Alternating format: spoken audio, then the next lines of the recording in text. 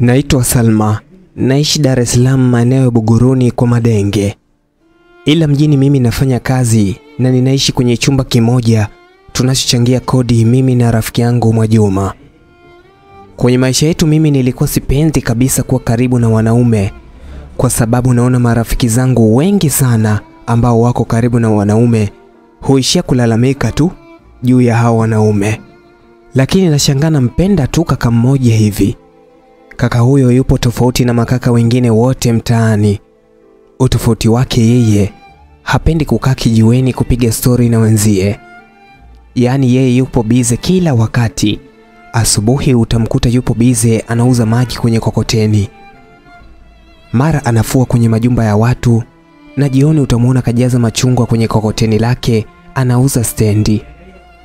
Yaani nilijikuta nampenda sana kwa kuwa yuko bize na mambo yake. Nilikuwa naenda kwake kununua machungwa na kumsifia kwamba anajua kumenya vizuri. Nia yangu ni mzoee awe karibu yangu, lakini Mwajuma yeye anapenda wanaume wavaa suruali chini ya makalio, wakitembea wanashika mbele, yaani mbele ya suruali, wakiongea wanavuta maneno hivi na kuyarembaremba, yaani yo nyingi sana. Siku moja nilimwita yule kaka anifulie Kweli alifua fasta nguo zote na zilitakata vizuri kweli. Nikampa pesa yake akaondoka.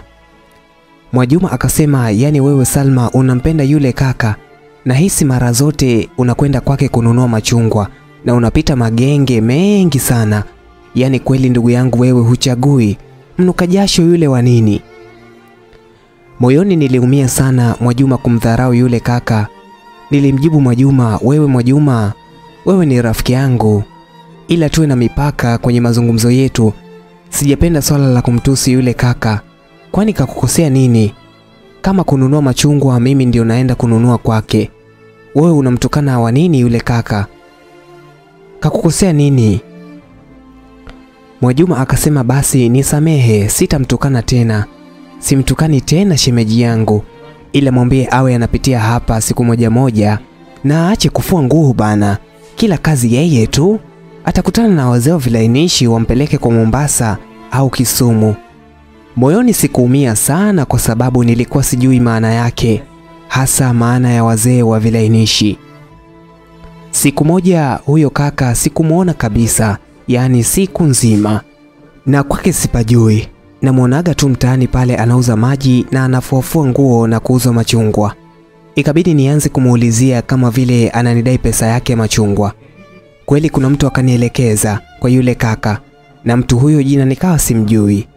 Nikaenda nikagonga mlango wa chumba chake, yaani nasukumwa na nguvu ya upendo moyoni mwangu, huku nasema akitoka mwanamke wa dizaini yangu nitasema chochote kile, lakini nia yangu nijue uwepo wake. Nashangaa ananiambia ingia ndani, karibu. Nikaingia ndani nikamkuta amekaa kwenye kitanda na ndani kuna kitanda tu. Akaniambia karibu ukae. Nikamwambia hapana, naogopa asije akatokea mkeo nikapigwa mimi. Leo sijakuona kabisa, nikaona nikutafute ili nijue umepatwa na nini, kwa sababu si kawaida yako. Akaniambia leo nilikuwa najisikia vibaya sana, ndio maana sikuweza kufanya kazi yoyote ile, na swala kwamba mimi nina mke, mimi sina mke siwezi kuchanganya vitu viwili kwa pamoja. Moyoni nikajisemea neno hilo hilo, wanafunzi wengi sana hasa wa kike huwa wanalisema kwamba siwezi kuchanganya haya mambo na masomo.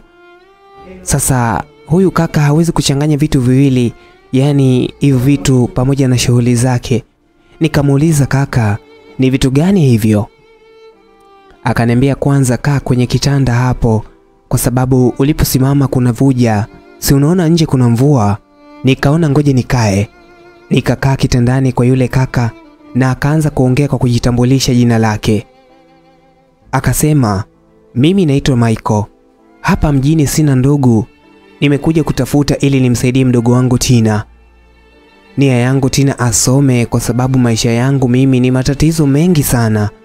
Baba yetu mzazi alitembea na rafiki yake marehemu mama hivyo familia yetu ilisambaratika katika upendo na umoja, hasa katika huduma ya sisi kwenda shule na kupata mahitaji mbalimbali katika familia. Inavyosemekana rafiki wa mama ndio alimuoa mama yetu ili akae na baba. Kweli alifanikiwa zoezi lake. Baada ya hapo akaanza kutulea sisi. Mateso aliyokuwa anatupa Mungu ndio alikuwa shahidi. Ilifikia hatua akawa anasema sisi tupo kama utumbo mgumu, yaani kuiva wepesi, kuoza wepesi. Siku moja nilisikia shoga yake mama wa kufikia aliyekuwa anatutesa anamwambia mama wa kufikia kuwa unahangaika kuwasha mkaa uchemshe bamia wakati maboksi unayo. Acha kujichosha wewe mama, hawa mapema tuwamalize bana. Mimi nilimtorosha mdogo wangu Tina usiku kwa usiku mpaka kijiji cha nne kwa shoga yake marehemu mama. Nilimwambia yote yaliyojiri nyumbani na maneno niliyosikia yakiwa yanaongelewa.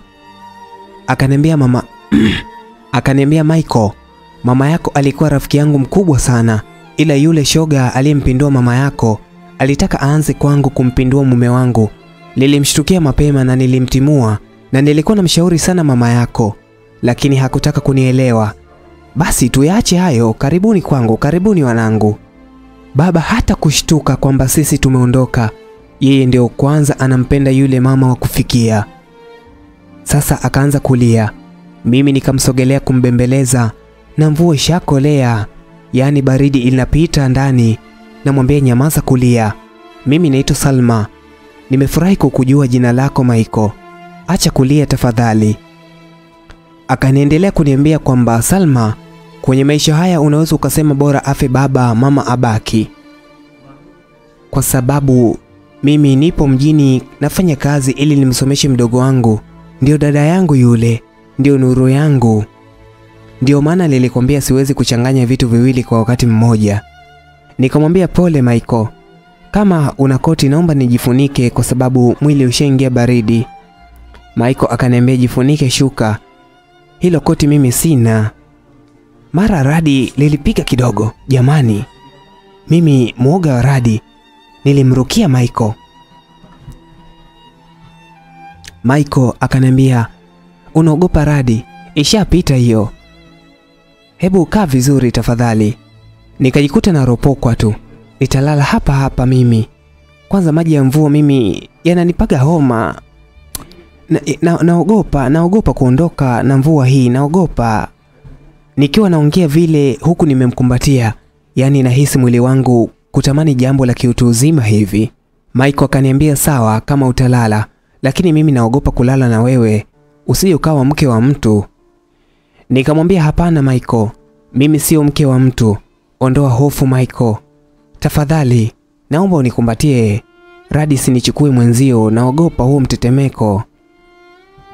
Michael akaniambia lala, nikufunike shuka, usione umetameta waradi tena, wala tetemeko lolote lile. Kweli nililala, Michael akalala juu yangu, tukajifunika shuka. Sasa hapo ndio mimi hamu ikaja kabisa, yaani nilishindwa kuvumilia. Nikamwambia Michael, naomba unifanyishe mazoezi mwenzio, nahisi mwili kama unataka mazoezi hivi. Michael akaniambia sasa, mvua inanyesha nje, nitakufanyishaje mazoezi hayo? Mazoezi halafu umevaa sketi, nje kuna matope, tutaweza kweli? Moyoni nikasema atajua tu mazoezi ninayotaka mimi, labda mimi nataka nipe nikupe, yeye anafikiri nataka mazoezi ya kukimbia au mazoezi ya viungo. Huyu naye hata afikirii.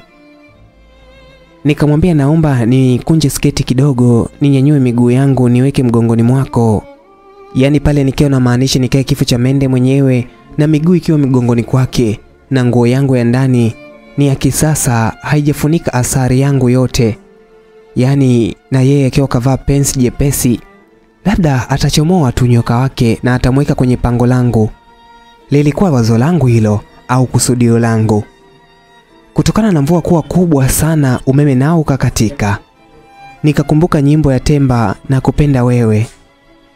Hapa ndipo nikakumbuka ule wimbo wa Temba na kupenda wewe, kipande kile ambacho muda unafika umeme si unakatika, utadhani TANESCO kwamba walijua leo tutauana.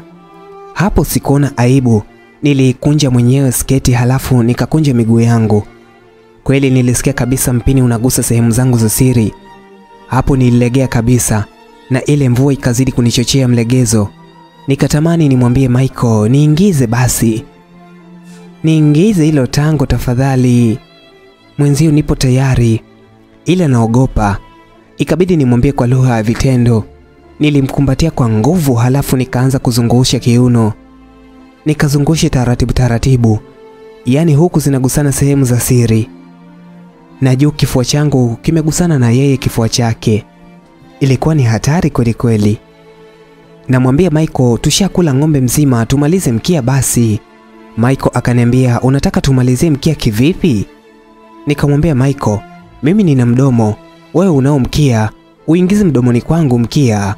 Michael akaniambia, mimi siuoni mkia wangu, uchukue uweke mwenyewe mdomoni kwako kama unauona huo mkia wangu. Nikamwambia sawa, naomba halafu uuchochee kisawasawa, mwenzio na washo kweli kweli ndani ya mdomo wangu. Kisha nikaushika mpini na nikahisi kwamba una misuli ile ya kukupa pembeni ya utamu. Sasa niliweka nguo yangu ya ndani pembeni ili niulengeshe mpini kwenye sukari yangu, ili nagusisha nyama kwa nyama. Nasikia nje huko mama mmoja anaomba msaada, yaani maji yanaingia kwake, tena akiwa maji ni mengi kwelikweli. kweli.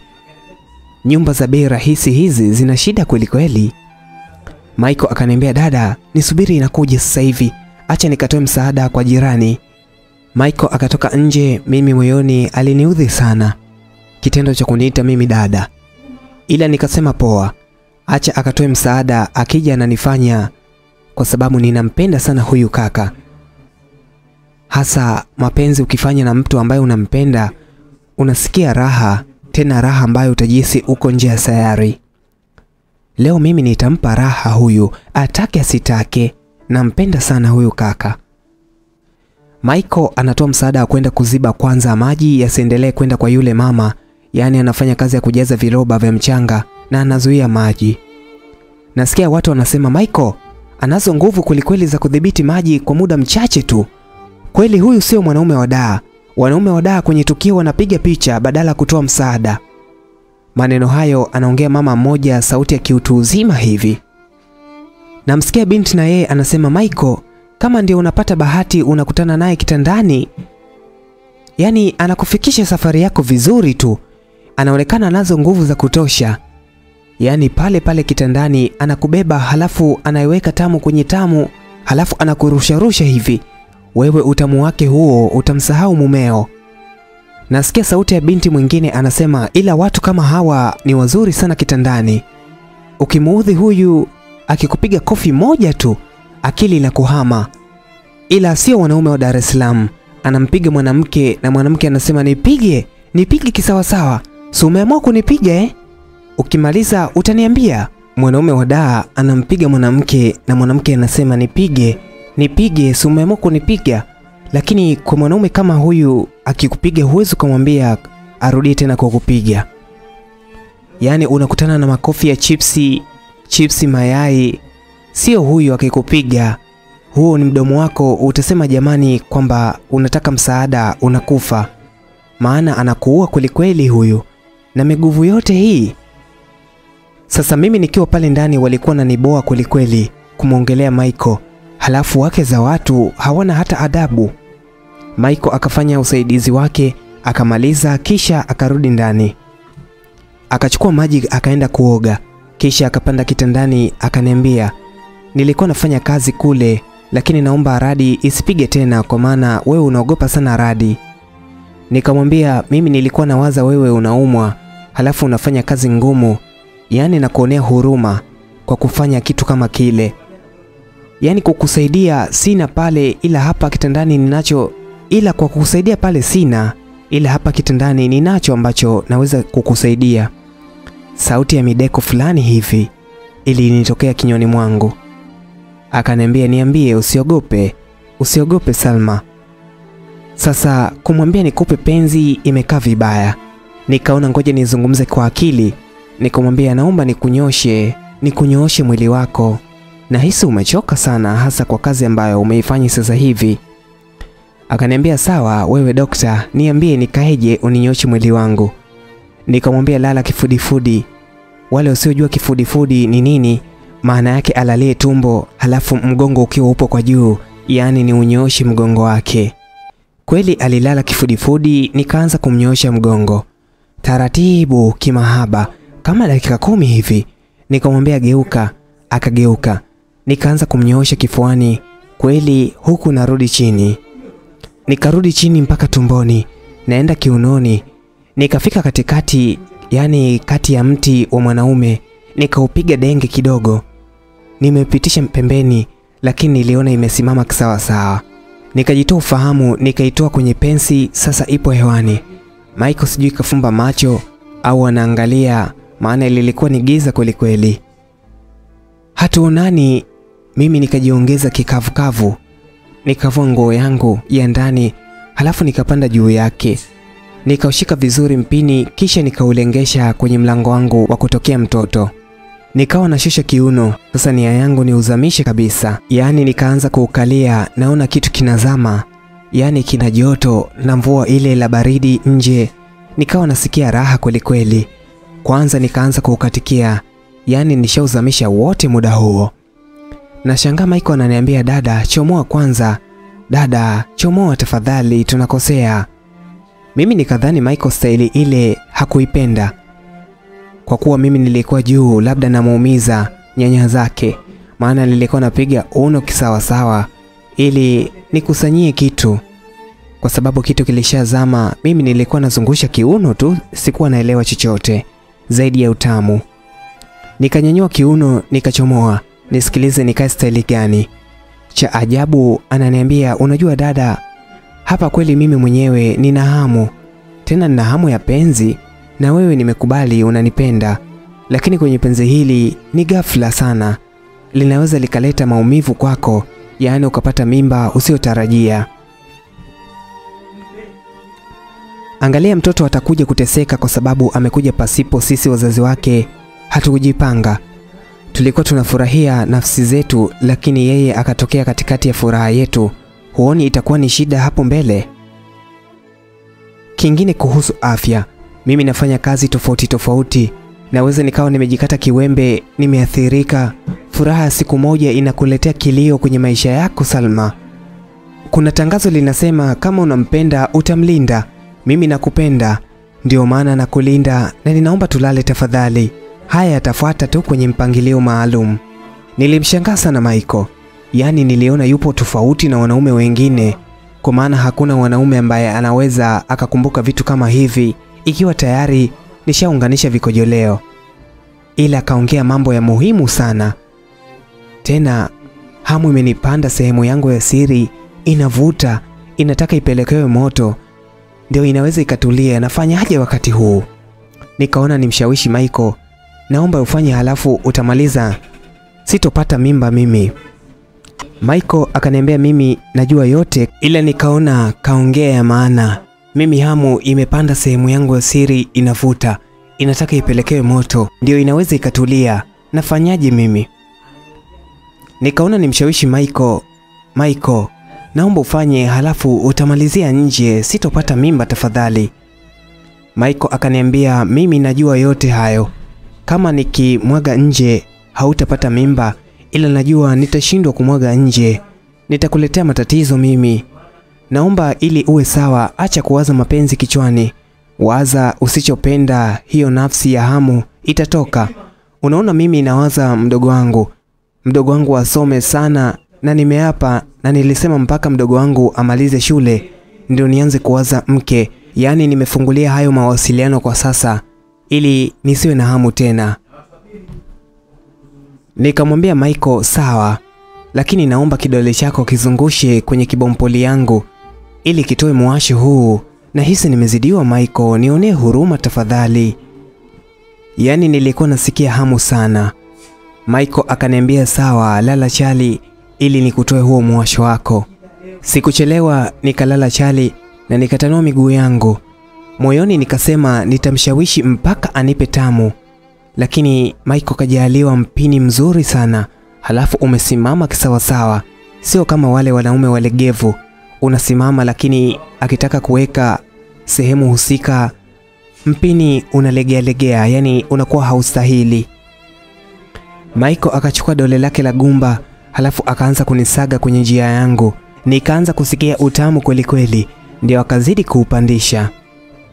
Akawa anasugua taratibu, mimi najinyonganyonga huku na deka deka, namwambia Michael, naomba nifanye mwenzio na kupenda, nipo tayari nipokee chochote kutoka kwako. Yaani maneno ya kuzidiwa na hamu yananitoka pasipo kujitambua. Yaani mimba sawa, lakini ukimwi hapana. Sasa hamu imepanda, nipo tayari kwa lolote, mpaka kupokea ukimwi. Yani yani hamu ni kitu kingine, tena ni kitu cha hatari kweli kweli, asikwambie mtu jamani. Na ndio maana ina jina lake hamu, na ndio maana kule Mwanza kuna sehemu inaitwa Nyegezi. Acha kabisa. Sasa toa zii kwenye hilo neno Nyegezi, linalobaki ndio useme mwenyewe. Yani nimepandwa na hilo neno hatari kweli kweli. Michael akanizamisha kweli, akawa anakizungusha kidole chake katika kuta zangu za kibompoli. Nasikia raha na nikawa namwomba Michael anichezee mwili wangu, nasikia baridi.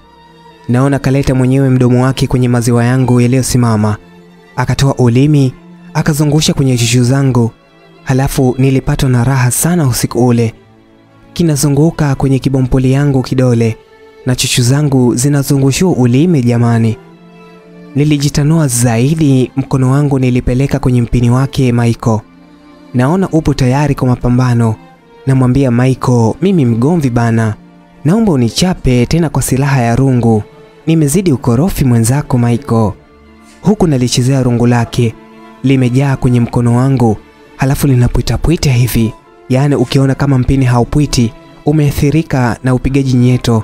Au kakupakia mkongo mpako, yaani huo mpini unakuwa na ngazi, yaani mishipa yake yote haipo sawa kama huyu Michael. Nia ya kupaka mkongo achelewe kufika kileleni, akukomoe mwanamke, ila mpini sio mtamu wake umepoa hivi wa Michael, alafu sio mpini feki. Huu wa Michael ni mpini OG kabisa. Ile linayozungumzia feki ni hiyo yenye kupata suna kwa ngazi kwa ngalibanesi. Sisemi sana kwa maana nipo kwenye raha zangu, nikawa nauchezea mpini kama nauzungusha hivi kiganjani kwangu. Naona Michael kaongeza spidi kwenye kuzungusha kwenye kibompoli yangu, halafu akahamisha ulimi kwenye chuchu zangu na akapeleka shingoni, huku akani, huku akinilamba shingo yangu, yaani ananipa staili ya kunichinja kwa ulimi. Jamani, tamu, nazidi kusikia raha. Namwambia Michael tayari kama uji ushachemka, tia unga usonge ugali Michael, na kuomba tafadhali.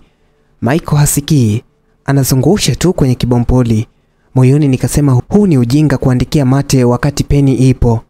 Tena najiuliza mwenyewe, naona Michael kaongeza spidi kwenye kuzungusha kwenye kibompoli yangu, halafu kahamisha ulimi kwenye chuchu zangu, kapeleka shingoni, ananilamba shingo yangu, yaani ananipa seli ya kuchinja chinja kwa ulimi. Jamani, ni tamu, nazidi kusikia raha mimi. Namwambia Michael, tayari kama uji ushachemka, tia unga usonge ugali Michael, na kuomba tafadhali. Michael hasikii, anazungusha tu kwenye kibompoli yangu. Moyoni nikasema huu ni ujinga wa kuandikia mate wakati peni ipo. Tena najiuliza mwenyewe, namwomba Michael aniingize wakati kuingia chenyewe nimekishika mwenyewe. Hapa ni kujipelekea tu mwenyewe mpini ndani, Michael yeye anisukumie tu kwa spidi. Nilijibinua zaidi nikaupeleka mpini kwenye kibompoli, na shangaa Michael ule msimamo kuisha. Ndiyo kwanza kaniweka miguu juu ya mabega chini ya kiuno changu, kanisogeza mto. Jamani, nilikuwa nimebinuka utamu. Nilichukua mpini nikauweka sehemu yenyewe, Michael akaanza kuupeleka ndani, yaani kumbe Michael anajua kukatika, halafu na papara zote akawa hana. Wanaume wengine angenipeleka moja kwa moja, yaani fumufumu hovyo hovyo, lakini Michael anapeleka taratibu taratibu, na usikia, yani nasikia utamu.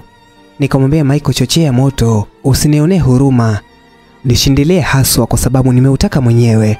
Michael akaanza shughuli yake, yaani kumbe Michael alikuwa anataka kuchokozwa ili anipe dozi nene. Michael alianza kunipump ndani kwa spidi, halafu akaukunja mguu wangu akaanza kunilamba unyayo, nikawa natekenyeka hivi. Jamani, ni raha kwelikweli, chini na kunwa, yaani nilikuwa nasikia raha kwelikweli. Sijawahi kulamba unyayo jamani, mimi Maiko kumbe ni fundi kwenye kumi na nane. Sidhani kama ukimwangusha ataiacha hata kuifunga hiyo penati yenyewe. Alikuwa sasa ananifunza mapenzi, ananiambia ukiwa unaumia unasema usiogope kama itakuwa inakuchoma, maana wanawake wengine wanaumia na wanashindwa kusema kwenye kitanda. Anavumilia tu mapenzi. Sifa yake utamu ni kuwa mnaambizana ukweli, kwa sababu ladha mapenzi hupotea pale ambapo hamwambizani ukweli. Moyoni nikawa nasikia raha sana kwa sababu Michael ananipa somo huku ananitembezea bakora mimi. Akaniambia niiname tena. Mimi sikuchelewesha nikabongoka. Michael akaanza kunilamba makalio yangu, nikawa nafanyiwa vitu ambavyo sijawahi kufanyiwa kwenye mapenzi. Michael ananikuna taratibu mapajani huku ulimi wake unaanza kupanda mgongoni. Na shangaa upo kwenye mstari wa ikweta, wengi huita muti wa mgongo. Jamani, tamu anaupitisha ulimi kwenye mstari wangu, halafu ameleta mikono kwenye makalio yangu, ananikuna sasa. Yaani Michael ni mtundu kweli kweli, ananikuna makalio, utadhani nilimwambia anawasha. Nasikia raha, nimefumba macho, nasikia utamu mimi. Michael alinionyesha vitu vingi sana, nikajihisi niko nje ya sayari. Jamani, alianza kurudisha ulimi, alianzia shingoni kwa nyuma, yaani mgongoni akawa anarudisha chini. Sasa mimi nasikia raha na usikie ulimi unashuka tu, upo kwenye kiuno, huo unaendelea na safari. Nikawa nausikia raha unakaribia sehemu yangu ya kutolea haja. Nashangaa karuka akaenda sehemu yangu ya kutolea mtoto, akatanua na ulimi ukapita njia ya safari yake, ikafika kwenye gia, akaanza kusugua gia yangu kwa ulimi. Jamani, acheni kabisa hapo. Ndio niliona miguno mwenyewe yaani tamu iliyopitiliza. Michael ananisaga na ulimi huku anaminyaminya makalio yangu. Nasema Michael, naomba naomba unitoange tena tafadhali. maiko anasugua tu gia yangu, halafu mikono ndiyo kwanza anaitekenya katika mbavu zangu. Sasa hapo ndio nilijikuta natekenyeka, hamu zikawa zinazidi kunipanda. maiko akakaa kitandani akaniambia, njoo ukalie, njoo ukalie sasa. Sikujichelewesha, nikaenda kuikalia mwenyewe, yaani kwa raha zangu. Naishika naiweka, inazama yote, naipandisha kwa juu, naishusha. Jamani, nikawa nasikia raha kweli kweli. Michael ananiambia twende mwendo wa mateka. Sasa sijui mwendo wa mateka kwenye mapenzi upoje. Namwambia Michael, mimi mtundu, nifundishe nijue tafadhali, huku na ukatikia mpini mdogo mdogo, madodo yangu yakawa yanamgusanisha kifuani kwake. Michael akaniambia, nyanyua mikono uweke kichoni mwako, halafu endelea kukatika kama kawa. Kipindi hicho nilikuwa nimemkumbatia, nikanyanyua mikono juu, nikaweka kichwani. Sasa Michael kanifanyia kitu ambacho sijawahi fanyiwa. Naamini hata baadhi ya wanawake asilimia 86 hawajawahi kufanyiwa lakini tamu sana jamani. Michael akapeleka ulimi kwenye kwapa langu la kulia akaanza kulilamba, kwapa la kushoto analitekenya na kidole kimoja, na mlango wa Michael unagongwa kwa nguvu, tena kwa sauti ya mwanamke mwenye hasira hivi. Moyoni nikasema kumbe Michael anaye mchumba.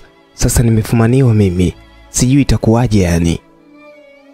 Yani Michael alimaliza akachomoa mpini taratibu kwenye kibompoli yangu mimi nishaingia uoga tayari, kwa maana wanawake tunajuana kwenye kutoa maamuzi. Uoga tunakimbiliaga usoni tu kumpasua mwanamke mwenzako. Na shangaa Michael yeye hana hata wasiwasi, na ndio kwanza ananipa mpini ni ufute, kwa sababu kulikuwa na giza, yani nilikuwa sioni chochote, na yeye alikuwa haoni kama mimi natetemeka muda huo. Nikaupangusa mpini wa Michael, lakini bado umesimama vile vile. Yaani Michael alikuwa ni kidume kweli kweli, sio kama wale moja chali Stori nyingi za uongo uongo huwezi kuunganisha mumo kwa humo. Basi Michael akaenda kufungua mlango na shangaa namsikia yule mwanamke anamwambia Michael, kaka Michael, chumbani kwangu kaingia chizi, naomba uende ukamtoe tafadhali, na kuomba Michael uende. Michael akamuuliza, chizi huyo kaingiaji chumbani kwako usiku huu? Yule dada akasema, nilikwenda kujisaidia chooni, narudi namkuta chizi yuko ndani sasa naogopa kumtoa, twende ukamtoe Maiko. Maiko akamuuliza, sasa dada yangu, wewe utoke kule nyumbani kwako, tena nyumba ya nne, uje unigongee mimi kule, hakuna wanaume? Yule dada akasema, wapo, ila wanaume wanaotaka mua kwa kisu na kumenya kwa kisu. we mwanaume unakata mua kwa goti, unamenya kwa mdomo. Wewe katika wanaume, wewe upo, naomba kanisaidie siwezi nikaenda kwa hao wanaume. Michael kapewa sifa kede kede, mimi nikiwa nasikia kwa masikio yangu. Huyo akaenda zake kumsaidia yule dada. Nikaanza kuona huu ni mtego wa mwanamke anayetaka Michael aingie chumbani ampe kibompoli kweli. Nilishindwa kuvumilia na mimi na hisi wivu. Nilitoka nikawa namfuata Michael kinyume nyume. Nafika pale kwenye ile nyumba kweli yule dada chumbani kwake kaingia chizi na chizi kalala kitandani. Michael akamfuata kistaarabu akamwita kaka, kaka, naomba utoke nje tuongee. Yule chizi akamjibu Michael, nenda kwako kalale, uje kesho asubuhi tuongee. Maneno yalimshangaza Michael, huyu chizi kajuaje saa hizi sio asubuhi? Akawa anajiuliza kwa nini ameingia na kulala kwenye kitanda. Akaamua kutumia akili, akamuuliza rafiki yangu, mbona umelala kwenye kitanda sio chako na mwenyewe anataka kulala? Chizi akasema, ndugu yangu mwenye hichi chumba anaitwa Sada, mimi namjua vizuri sana, ila acha niondoke, kesho ukipata muda nitakwambia kwa nini. Waswahili wanasema tenda wema uende zako. Michael aliona kauli kubwa sana imetolewa na yule chizi, akatoka yule chizi na Michael humo ndani. Halafu chizi akamwambia Sada, nenda kalale, mimi nimetoka na ninajua hiyo ndoa haitofanyika, sijakupa talaka mimi, kwa hilo bado nina kumbukumbu ya kutosha, mimi naenda. Maneno yule chizi yalimfanya Michael aongee moyoni mwake, nitamtafuta huyu chizi, labda kuna jambo limemkuta na linaweza likawa lina mafunzo kwenye maisha yangu. Sasa Michael akaniambia mimi, mbona umenifuata huku? Kwa nini? Huku kanishika mkono, tunarudi nyumbani kwake. Nikamwambia nahisi wivu, unanisumbua tu, sijui kwa nini, natamani uwe wa peke yangu muda wote. Michael akaniambia mimi wa peke yako, ila naomba usiwe na wivu sana. Mimi kazi zangu nyingi nafanya na wanawake, na we unajua, si unaona nafua mpaka nguo za kike, nafanya kazi zozote hapa mjini. Nikamwambia sawa, sitakuwa na wivu tena kiasi cha kukukera Michael, hasa katika kazi zako. Najua unatafuta sababu tu mdogo wako asome. Michael akaniambia mimi naona mdogo wangu nimlete mjini asomee huku, kwa sababu sasa hivi anaingia kidato cha nne. Acha nimpangie chumba ili aje asome huku, wewe unaonaje? Nikamwambia sawa, ila muulize mwenyewe kama yupo tayari. Akaniambia kesho nitamuuliza, nitampigia simu yule mama anayekaa naye ili nijue kwamba anasemaje au tujue kwamba nimpange vipi. Nikamwambia Michael sawa, haina shida. Nikamwomba anisindikize chooni nikakojoe, maana mvua kwa mikojo. Basi alinipeleka chooni jamani, cha ajabu akaingia na yeye mimi, nikamwambia kaa nje unilinde. Akaniambia kojoa ni kunawishe. Jamani, sijawahi kunawishwa na mwanaume tokea nijitambue toka udongoni mwangu, maana inawezekana imechambishwa sana, maana kizazi chetu tofauti na cha sasa. Hivi huwezi kukubali mwanao achezewe sehemu za siri na mtu hiki kizazi chenye laana hiki, anaweza akaanza kumtia bado mdogo, akaanza kumharibu mwanao kwa uvivu wako. Basi mimi nilishishumaa nikakojoa, halafu akachukua kopo akaanza kuninawisha. Kaa nyuma ya mgongo kwangu kama mtoto vile, ananifanyia mahaba mengine. Da, niliona vitu vya ajabu sana, acha tu. Nashangaa ananiambia nisubiri nikuogeshe kabisa, ndio nikaona leo narudisha utotoni mimi. Akaja na maji akaanza kuniogesha kama mtoto, sehemu ambayo bado kidogo nicheke pale aliponiambia nishike kichwa halafu ninyanyue mguu au sugue. Jamani, Michael anajua mahaba nyie. Nilipomaliza kuoga akanibeba mgongoni usiku mwingi ule, hakuna anayetuona. Yaani nimesikia raha mimi kubebwa mgongoni, acha tu. Alipofika chumbani akaniweka kitandani, akaniambia lala kifudifudi, yaani usiojua kifudifudi ni nini maana yake, nilalie tumbo. Kweli nililalia tumbo, akaanza kuninyoosha mgongoni, yaani taratibu taratibu, huku nasikia raha. Michael anashusha mikono mpaka kwenye matuta yangu, ananiminyaminya, anapita mpaka mapajani, yaani mpaka kwenye visigino. Michael anaminya mpaka unyayo, yaani nasikia utamu sana. Michael ananiambia sasa bongoa. Nikajua Michael kashazidiwa na hamu, anataka nipelekee moto. Nilibongoa. Nashangaa, nikashtuka. Michael anaenda kwenye dirisha, anawasha simu, anachukua mafuta ya mgando ili anipake. Moyoni nasema huyu Michael anataka nipelekee kwa mpalange nini? Au ananiagani na mimi tena? Naona Michael anafungua mfuniko wa kikopo cha mafuta, halafu akatia kidole akakoboa mafuta kwa kidole. Yaani alichukua mafuta kwa kidole, halafu anataka kunipaka sasa. Ananiambia tanua basi nikupake mafuta. Moyoni nikajua sasa leo natolewa malinda mimi. Anataka nitanue tena. Akaniuliza au nikutanue mwenyewe nikupake. Du, yani nilijikuta nasema sawa nitanue mwenyewe yani. Yaani nikawa nasikiliza tu kama atanigusa nilipofikiria moyoni nasema mbona hafanani na tabia hii? Yaani wenye tabia kama hizi utawajua kwa macho tu, lakini yeye hayupo hivi. Nashangaa ananitanua miguu, ananiambia nataka nikupaki mafuta kwenye mapaja. Haya, sitaki yagusane nipate kuzungusha viganja vyangu vizuri kwenye mapaja yako. Kweli alikuwa ananipaka mafuta kwenye mapaja yangu. Moyoni nikasema dhana kweli ni mbaya. Nilimdhania anataka kunifanyia tabia mbaya, kumbe ni mtu mzuri tu ambaye ananiheshimu. Wakati anaendelea kunipaka ndio nikakumbuka hata wakati ananilamba sehemu yangu ile ya kutolea aliyeruka na ulimi. Kwa nini nimemuhisi vibaya Michael? Najilaumu mwenyewe. Yeye akamaliza kunipaka mafuta akaniambia sasa lala upumzike au nataka tena. Kwa kweli nikamwambia acha nilale, asubuhi utanimalizia la mwisho Michael. Basi alinilaza kifuani kwake, nililala kwenye kifua cha Michael, yaani mpaka raha. Asubuhi akaniamshia show ya kibabe, tena show tamu sana. Nikaondoka zangu kwa Michael na yeye akaenda zake kazini. Narudi nyumbani nakutana na Mwajuma. Tunaishi geto moja kumbuka. Ananifokea sana. Jana ulilala wapi? Na hukuniambia. Umefanya mimi nilale mlango wazi yani. Nimeenda kule mpaka anapouza machungwa yule chokoraa. Sijamuona yule chokoraa. Maneno ya Mwajuma yakawa nanipa hasira kwa nini amwite Michael chokoraa. Nikamwambia Mwajuma, mbona mimi siwadharau watu ambao wewe unawaheshimu? Sipendi umuite Michael chokoraa. Akacheka kidogo. Mpaka jina umemjua, yani besti wangu, nikwambie ukweli, huyu ni mzuri, wala huendani na yule kabisa. yani wenzio watu kama wale wa kuwachuna tu, na wananijua wenyewe, hawana mvuto, ndio maana wanafanya kazi sana ili wapate pesa, watu wawapende kwa sababu ya pesa zao. Nikamwambia Mwajuma, naomba nipumzike, sawa?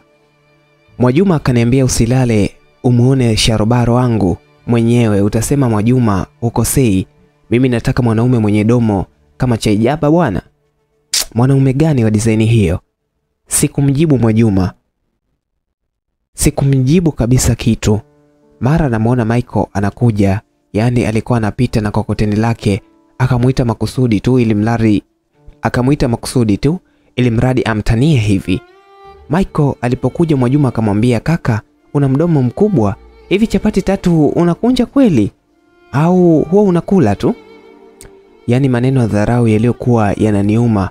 Mimi namwangalia Michael, Michael anacheka tu, ndio kwanza anasema sasa chapati zikiwa tamu nazikunjia nini? Nakula tu. Mwajuma akamuuliza, hivi we kaka, kuna siku shawahi kupendeza kama kaka yule anayekuja kule?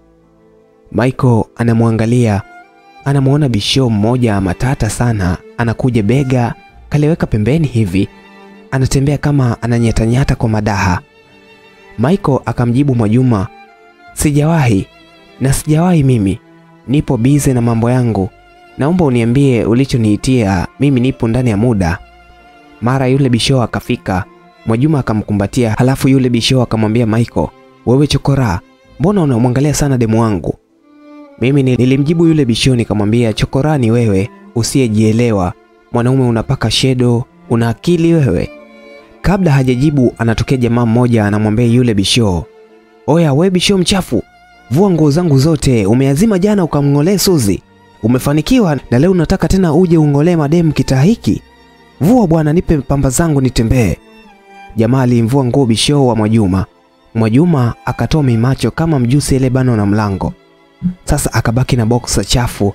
Naona Michael anapiga chafya ya uongo, yaani anarudisha tusi kwa vitendo. Halafu akamwambia Mwajuma, mimi naenda, nadhani umepata jibu. Mimi siwezi kuwa kama huyu, na sasa huyu aliniambia mimi chokoraa. Okay, mimi chokoraa naenda zangu sasa, labda ni mjibu tu. Waswahili wanasema nguo ya kuwazima haistili. Malizia mwenyewe, maana boksa imetoboka nyuma, yaani imetimiza usemi wa Waswahili kwamba nguo ya kuwazima haistili. Michael akaondoka zake. Mimi nikasema haistili makalio, na wewe Michael umejua kumjibu, nenda akafanye kazi, unachelewa kuuza maji. Mwajuma akaingia ndani kwa aibu akajifungia. Yule bisho wake anamwomba Mwajuma kanga avaa jistiri kwa maana boksa chafu imetoboka. Mimi nikamwambia Mwajuma, Mwajuma mpe shemeji hata dera avae, sasa watu wakija si ataona aibu? Mara ghafla anasikia wanawake wanakuja na huwa wanakuja pale kuja kusukana pale kwenye kivuli. Bisho akakimbilia chooni kujificha kwa aibu yake. Bahati nzuri kwangu au mbaya kwake, kuna dada mmoja kati ya wale waliokuwa wanakuja ndio amewakimbia, amebanwa na tumbo, kaniomba maji aende chooni, nikampa. Nikaenda kumsaidia kugonga ili Bisho atoke, dada yule aende kujisaidia. Basi nagonga, wewe kaka, fungua mlango utoke, dada wa watu kabano na tumbo, fungua mlango. Ungefika humu ndani na maji tungesema unaoga, lakini umeingia humu ndani bila maji. Si umekuja kukojoa wewe, halafu hutaki kufungua mlango. Kumbe Bisho anawaza anatokaje humo ndani, na yupo na boksa tu chafu, na mademu ndio wamekaa mbele ya choo wanasukana. Si unajua vyoo vya Uswahilini bwana. Mara kaja mlevi mmoja, lakini anakaa nyumba ile ile, anasema dada, sogea nisukume mlango huo. Itakuwa jamaa anapiga nyeto huyo, hasikii au? Mimi moyoni nafurahia kweli kweli. Mlevi akaushika mlango sasa, anaanza kusukuma. Jamani, da aibu! Yaani Bisho kajifanya kaona jini chooni, anatoka mbio huku anapiga kelele, jini jini. Akili yake ilikuwa kwamba wanawake watatawanyika kwa kile kelele. Hajui wanawake wa Uswahilini hawaogopi kitu, ndio kwanza analala chumba kimoja na bwana wake anayelala geto na wenzie watatu, na usiku anampa mkato wa chumba kama kawa. Wanawake hawa hawa wa Uswahilini, mwanamke mwenzako akipandisha mashetani wanamchukua video kama kawa na maisha yanaenda. Sasa Bisho alikamatwa na mlevi, halafu lile boksa lake chafu limetoboka. Sasa mlevi anamuuliza wewe, jini mwenyewe uko wapi? Tupige naye picha sisi, mimi sijawahi kumwona, nataka niweke kumbukumbu yangu kupiga na jini. Kuna dada mmoja akasema, jamani, mwachini kwanza akavae nguo zake jamani, au ameshamtupia jini huyu wazee? Kwa maana wazee wa mtaani hapa, kijana bishoo mzuri anatembea sana na wanawake wasio na akili hapa mtaani. Mimi nilifurahi sana lile neno wanawake wasio na akili hapa mtaani, kwa maana ndio bwana wa Mwajuma huyo. Tena bwana huyo ni mashauzi kweli kweli. Mwajuma yupo ndani anasikia yote kwamba yule bwana Bisho anatembea na wanawake wasio na akili. Ina maana Mwajuma hana akili katika kundi la hao wasio na akili, na yeye kama nimemtuma akawa anafunguka huyu anatembea na wanawake wasio na akili. Mwangalieni, mwanaume anapaka shedo, mwanaume anaringaringa kwenye kutembea, halafu huyu akikuona mnashindana kupaka shedo ndani, mara mnavaliana heleni. Jamani, labda hajanawa huyu, alivyokunya mbona harufu? Mlevi akasema boksa hili ndio linatoa harufu, alafu nguo hana. Sasa uliingia na boksa chooni wanaye mpeni kanga ajistiri huyu. Kuna mama mmoja akasema, nani atatoa kanga yake ichafuke na hiyo boksa chafu, tena boksa imetoboka, nadhani anunue anunue nyingine. Kaifua mara moja, jamani, jasho la minyanya linanuka vibaya. Hehehehe, wanatutukanaga hawa. Hawa hawa, huwa wanatutukana na leo tunanuka, heti tunanuka mkojo. Sasa leo ananuka yeye. Hata haijulikani kitu gani ambacho kinamnukisha. Namwona Michael akaja na suruali. Akampa, akamwambia chukua suruali ya chokoraa ili kustiri, halafu hiyo sitokuvua, ibaki kumbukumbu yako ya yule ambao umemdharau, ndio amekusaidia. Ushawahi kusikia au ogopa kupokea zawadi ya nguo kwa mtu aliyekuwa uchi? Wewe ulidhani uchi wa kawaida sio uchi wa mawazo.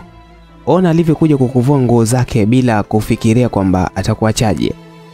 Wewe upo tayari ukodi nguo ili wapate wanawake, ila ujue kwamba hupati mwanamke aliyekamilika. Fikiria unapata mwanamke aliyekamilika. Ujinga yani. na ni mjinga kamili wewe. Wanawake wote walicheka kwa nguvu, yani lile neno liliwagusa kweli kweli. Mimi ndio mpaka mbavu zinaniuma, maana Michael anarudisha matusi yao ya mwanzo. Hapa ndio nimeamini usemi aanze avumi amalize anavuma. Sasa Michael anavuma, yaani hawajui Michael anarudisha matusi kwa kutumia akili sana, kama anampa somo, kumbe ndio anamtukana yeye na Mwajuma. Maiko akaendelea, unajifanya bishoo lakini hauna pesa, mwishoni ndio mnakuwa mashoga ninyi, kwa sababu mnataka vitu vizuri pasipo kutumia nguvu na akili zenu. Ndio unakuta wanaume wanawanyosha tabia, wanawapakua, halafu na nyie hasira zenu mnaenda kuwapakua hao wanawake wajinga kamili. Wewe bado kijana mdogo, piga kazi, mengine atakuja yenyewe. Kama nguo utanunua za kwako, kama mwanamke utapata mwenye akili, sio kama huyo au hao uliokuwa nao wasio na akili. Ndio unaona wanakufaa. Okay, mimi nenda zangu, hiyo suruale uivae iwe kumbukumbu kwako, usinirudishie tafadhali, maana imekustili na naomba ikustiri mpaka sehemu ambayo utaona inakufaa. Michael anaondoka, anaingia yule chizi niliyemuona usiku ambao alimuita Sada. Akasema, ninyi wanawake msicheke, msicheke. Baadhi yenu ninyi hamna akiba benki, mpo tayari mkipata pesa ukanunue nguo makabati matatu, lakini sio uweke pesa inayokusaidia. Yaani mnaamini shida zenu kutegemea wanaume wazitatue. Ndio chanzo cha kuwa malaya. Mwanaume mmoja hawezi kutatua matatizo yako. Mwanamke na kusihini, ombeni mitaji ili muwe kwenye usemi wanawake tunaweza, si usemi wa wanawake wenye akili. Wasio na akili, endeleeni kutumika sehemu zenu za siri. Kwaherini. Wanawake wale wakasema, mm, huyu chizi kaongea maneno mazito sana, halafu sijui nini kimemkuta, kwa maana namwonaga anasema Sada hawezi kuolewa mara ya pili, ndio neno lake la kila siku yani. Sasa na mimi lile neno alilosema huyu dada nilimsikia chizi anasema usiku ule ule.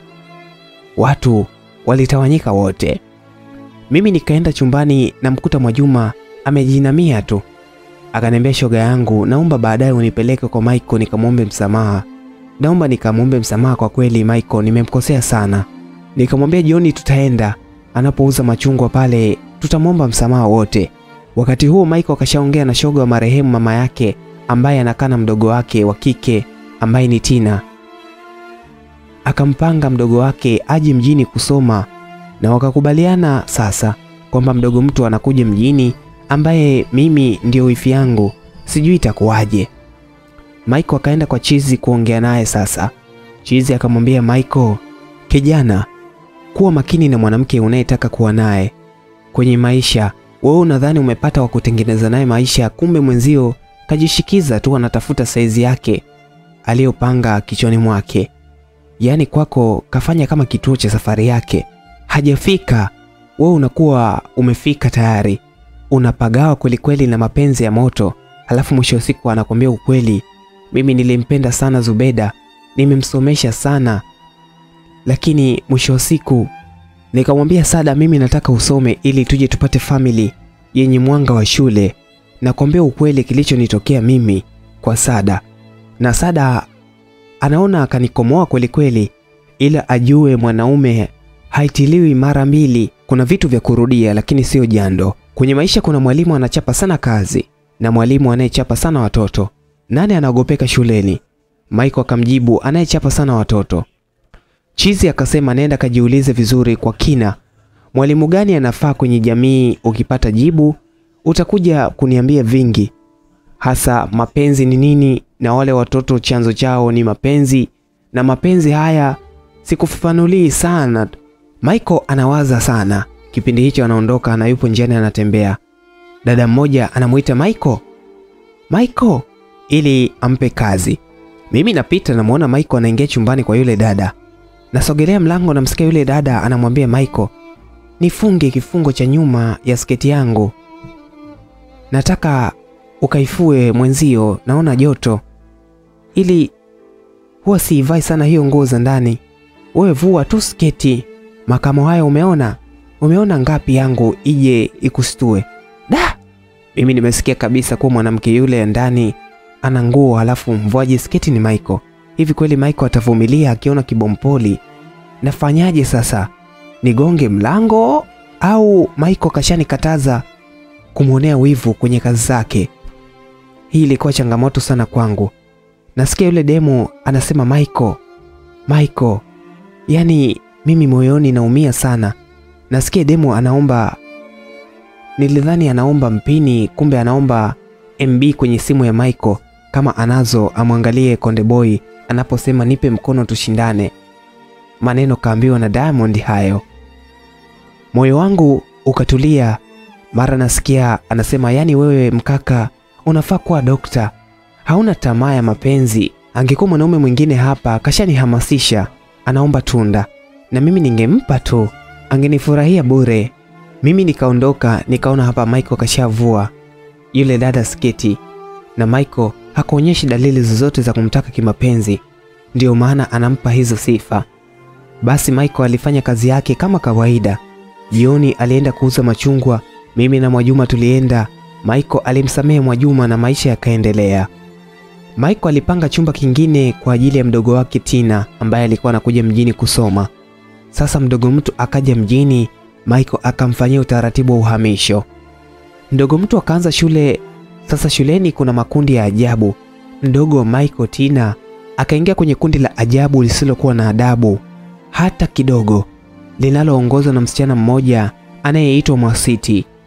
Aliwaweka kikao wanachama wake, akaanza kuwapa somo la upotoshaji ili wasisome, wavamie wanaume wadange. Alianza kuwaambia, ninyi ujue, sisi wanawake Mungu katuumba tuje tufanye kazi. Sasa sisi tunang'ang'aa tu na tunang'ang'ania kusoma ili iweje, wakati Mungu kasema sisi tutazaa kwa uchungu, wanaume watakula kwa jasho. Sasa sisi tusihangaike sana kusoma, tutafute watoto.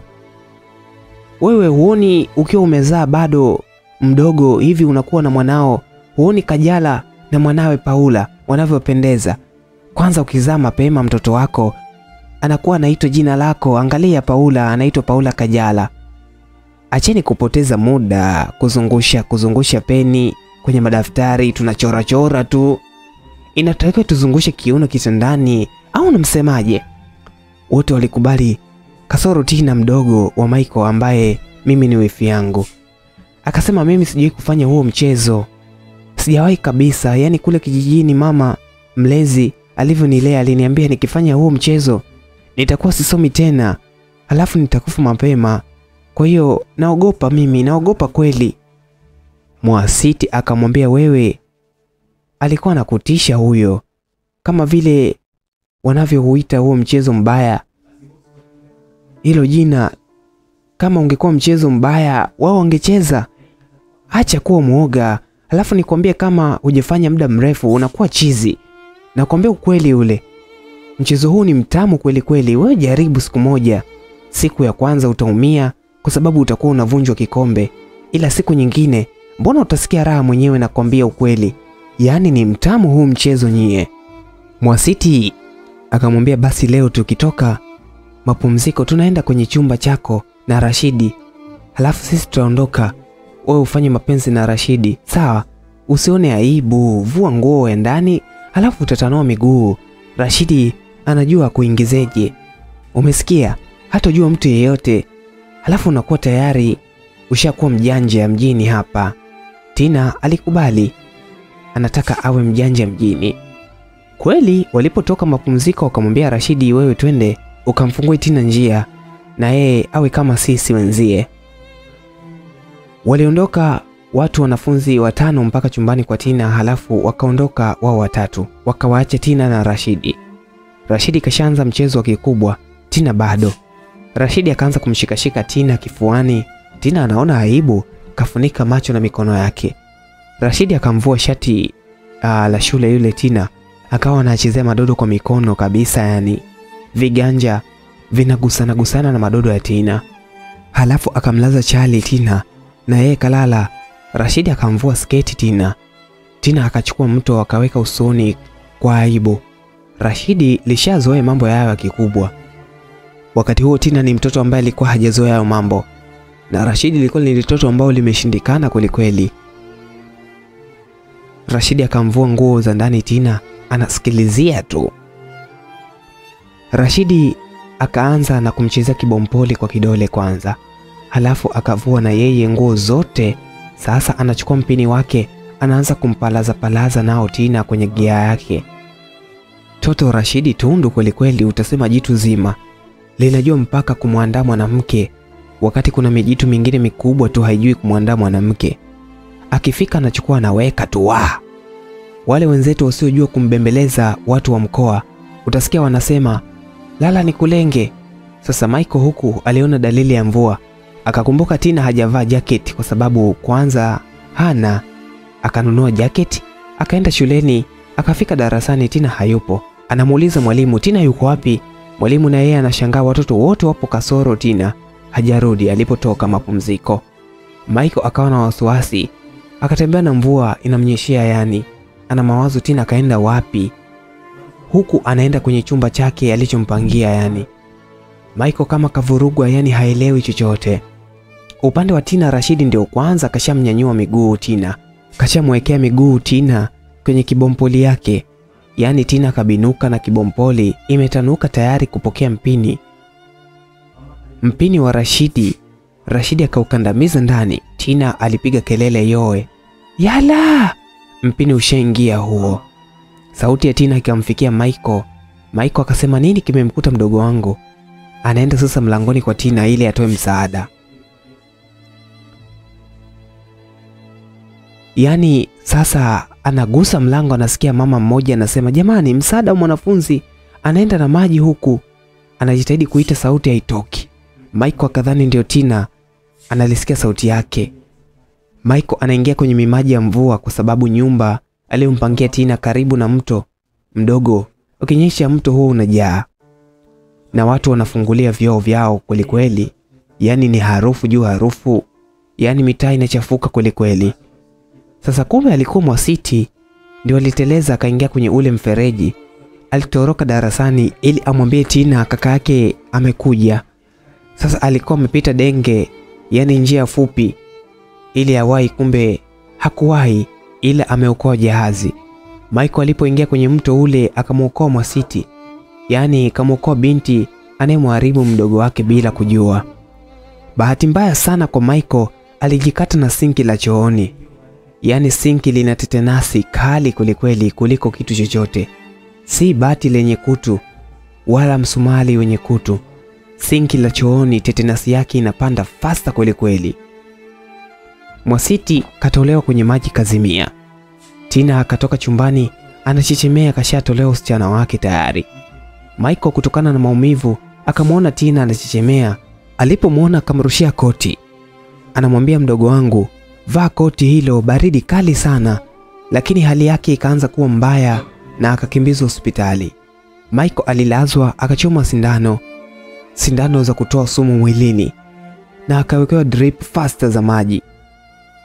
Sasa kuna jamaa chumba cha pili ni mkubwa, akamwambia Tina, nimeona umefanya nini, naenda kumwambia kaka yako. Tina akaingia uoga, akajua kaka yake atampiga. Akamwomba yule kijana, usimwambie kaka, na kuomba tafadhali, atanipiga mimi. Yule kijana akasema, ukitaka nisimwambie kaka yako, na mimi nipe kidogo, najua hauna bikra, nitakupa utamu mzuri, sawa? Sitamwambia kaka yako. Tina akasema inauma, lakini naogopa. Jamaa akamvuta Tina chumbani kwake, akampa chipsi na mayai, akampa na soda. Tina akala miksa kuku roho. Ndio kabisa, Tina akasahau hata kaka yake kama kaenda hospitali. Mimi napata taarifa naenda hospitali, namwangalia Michael, roho inaniuma kweli kweli, hasa juu ya Michael alivyolazwa. Narudi nyumbani, njiani nakuta watu wamejaa, wanamsikiliza chizi yule anaimba. Mimi nikasogea nimsikilize anaimba nyimbo gani. Nafika pale namwona chizi anasema hii nyimbo ni nzuri kweli kweli, sikilizeni mistari yake, ina mafunzo. Acheni kusikiliza nyimbo za kijinga, sikiliza hii dongo jipya kutoka kwa Stamina, inaitwa Sadaka. Mimi sababu ya mawazo mengi ilibidi nisikilize tu mistari ya nyimbo hiyo. Akaanza Stamina, kama nina nguvu ya kutafuta siwezi ita mtu tajiri Tajiri sio kipaji, ni kazi za nguvu na akili. Tatizo mkipata pesa mnapoteza marafiki, halafu unapata wapambe usiokuwa nao kwenye dhiki.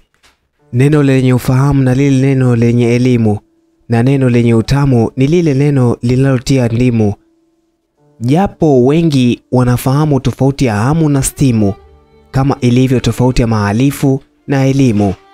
Kipindi unamtongoza demu uonekane mjanja, mimi namtongoza dalali nitafutie kiwanja. Halafu sasa ukipaka mkongo ili mkomoe mchumba mwenzako, nipo saiti na paka rangi nyumba. Tusibishane kuhusu hili, kuna vichwa viwili, ila cha chini hakifikiri kabisa. Mwanaume aliyevaa vikuku, aliyetoga masikio na pua, huyu mwanaume sisi hatuhusu, sio wanaume tunayemjua. Mimi nikaona hii nyimbo hainihusu, inawahusu vijana, haswa yule aliyekuwa anapaka shedo, mchumba wa Mwajuma. Kumbe hata wanaume wenzake hawamtambui kuwa ni mwanaume kamili, maana na yeye katoboa masikio kama wanawake. Mengine yana maana, ila kwangu siyajui kabisa. Nikaenda nyumbani kuandaa chakula nimpelekee Michael hospitali. Sasa upande wa Tina ndio kashakula chipsi za watu, jamaa kashamvua nguo, anamchezea sehemu za siri na ulimi. Tina hajawahi kulambwa na ulimi kutanua miguu, anasikiliza ulimi unapita kwenye kibompoli huku anaminywa minyo maziwa. Tina anasikia utamu sasa, anafumba macho, anafumbua, ulimi unamsugua tu kwenye kibompoli. Uliposogea ulimi kwenye jia yake, ndio kabisa akachetuka akili. Jamaa akawa na msaga na ulimi kwelikweli, kweli, yaani anahangaika Tina huku na huku. Yaani ni kweli kukatika ufunzwi, utamu ukizidi unakatika mwenyewe. Tina anaukatikia ulimi wa jamaa. Mimi nishapika wakati huo, naenda kumpitia Tina niende naye hospitali. Nafika mlangoni kwa Tina, nasikia sauti ya kitanda kwichi kwichi, mlango wa pili. Moyoni nikasema watu wanafanya yao kimpango wao.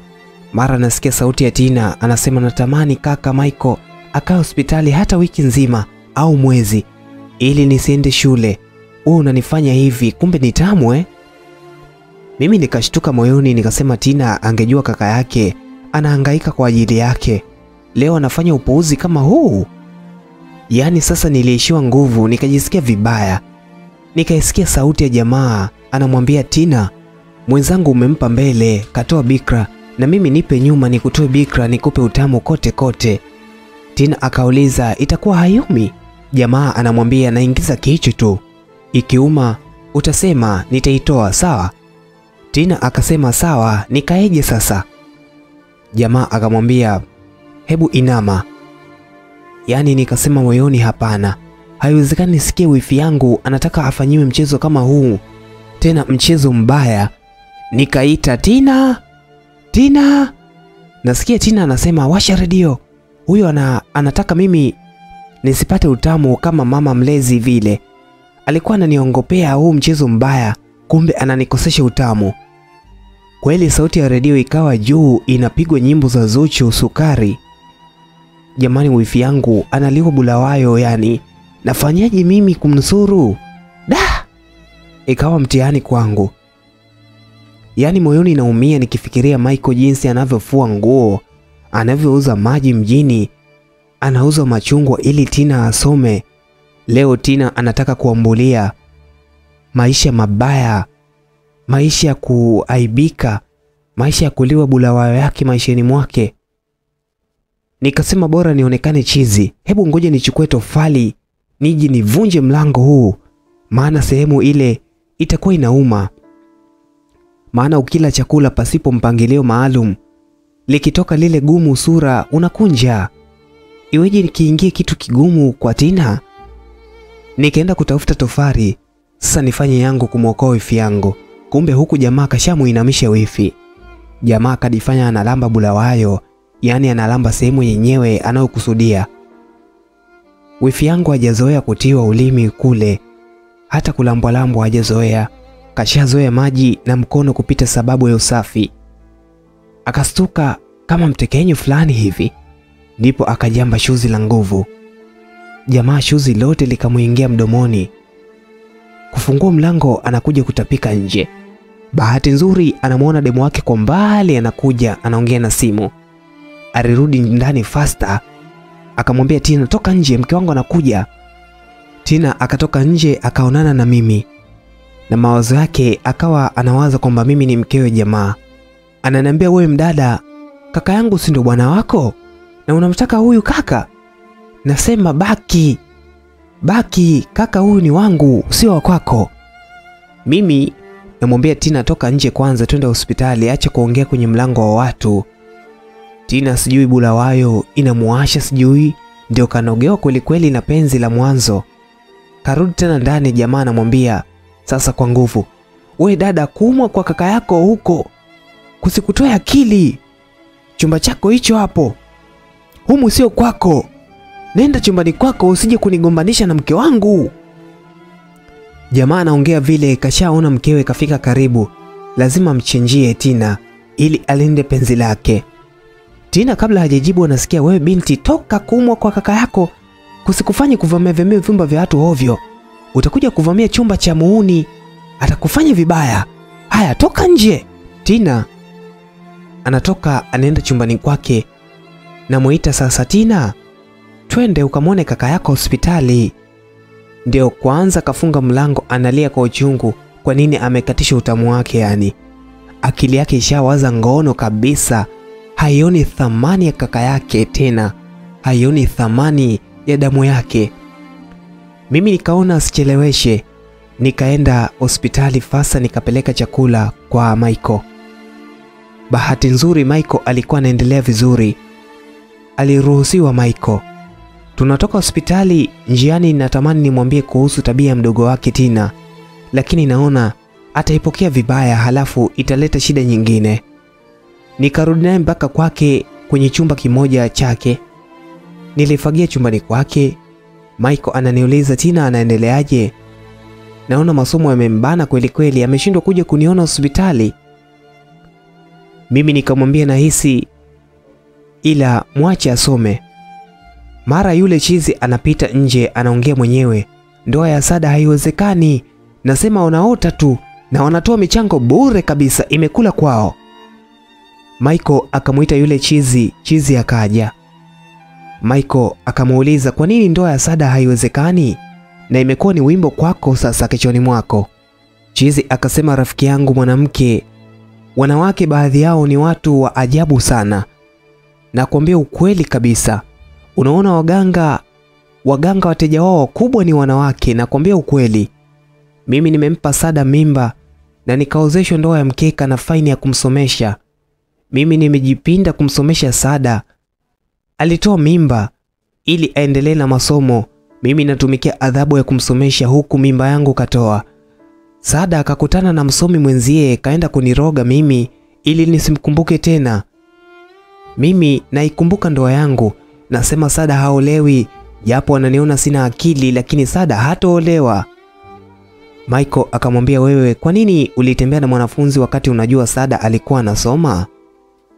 Chizi akasema, nakwambia ukweli, shuleni mtoto wa kidato cha nne ukimkuta bikra, njoo nipige mawe mimi mpaka nife. Kwa karne ya sasa kule shuleni kuna wanawake wengi wanaharibu wanawake wenzao. Mimi Sada nililetewa nyumbani na mwanafunzi mwenzie, na mimi kama mwanaume nataka nivunje kikombe. Ndio haya amenikuta, nakwambia mdogo wangu. Michael akashtuka kidogo kusikia shuleni kuna wanawake wanaharibu wanawake wenzao, yaani mabinti kwa mabinti. Michael akamwambia kuhusu mdogo wake kwamba ameshamuhamisha shule ya sekondari, akauliza tabia ya pale. Chizi akamwambia wewe, kabla hujampeleka shuleni ulikaa naye kumwambia maisha ya mjini yalivyo, au umetegemea tumia akili yake ya ziada? Michael anasema sijawahi kumwambia. Chizi akasema hilo ndio kosa kubwa ambalo wazazi wengi wanalifanya, hawawaambii watoto wao ukweli, hususan watoto wa kike. Sema na mwanao, dunia imejaa laana. Hata washenzi wa kuwafanya wanafunzi kinyume na maumbile wapo, na kwambia ukweli. Wanafunzi wa kidato cha tatu ndio wanaongoza kufanywa huo mchezo. Wakidanganywa huku upati mimba, utamaliza shule vizuri. Sasa usiposema ukweli na mwanao ukategemea tumia akili yake, na kwambia atatokea mwanafunzi mwenzie ndiye atakayemharibu na kushauri usikae kimya, sema na mwanao, tabia mbaya za mwanaume zipo 32 na mwanamke ana tabia 28. Mimi naenda, ila siku moja nitakwambia tabia mbaya ni zipi. Mimi nilishangaa sana, kumbe wanaume umetuzidi tabia nne ambazo ni mbaya. Sisi tunazo 28, wenzetu wanazo 32. Natamani angezisema ili nizifahamu vizuri. Michael akaja ndani akaniambia, yani usimdharau mtu. Kanikumbusha jambo zuri sana, yani lazima nimwambie Tina ukweli wote. Naomba uniwekee maji nioge nipate nguvu, nikaongee na Tina ukweli. Wakati natoka nje kumpelekea maji, namwona Chizi anakuja kamkunje Tina, na yule jamaa Chizi hajui kama Tina ndio mdogo wake Maiko. Mimi nashangaa, Chizi anasema Hawa, nataka nikamwonyeshe rafiki yangu. Nimewasikia chumbani, huyu anasema inama nikuingize kwenye njia. Sio nimevunja mlango, ndio nikavunja mlango kumwokoa huyu binti. Sasa angalia umri huu wa binti kama huyu, anataka aingize nyuma. Inafaa kweli? Mimi nikasema ukisikia vimeumana ndio hii leo.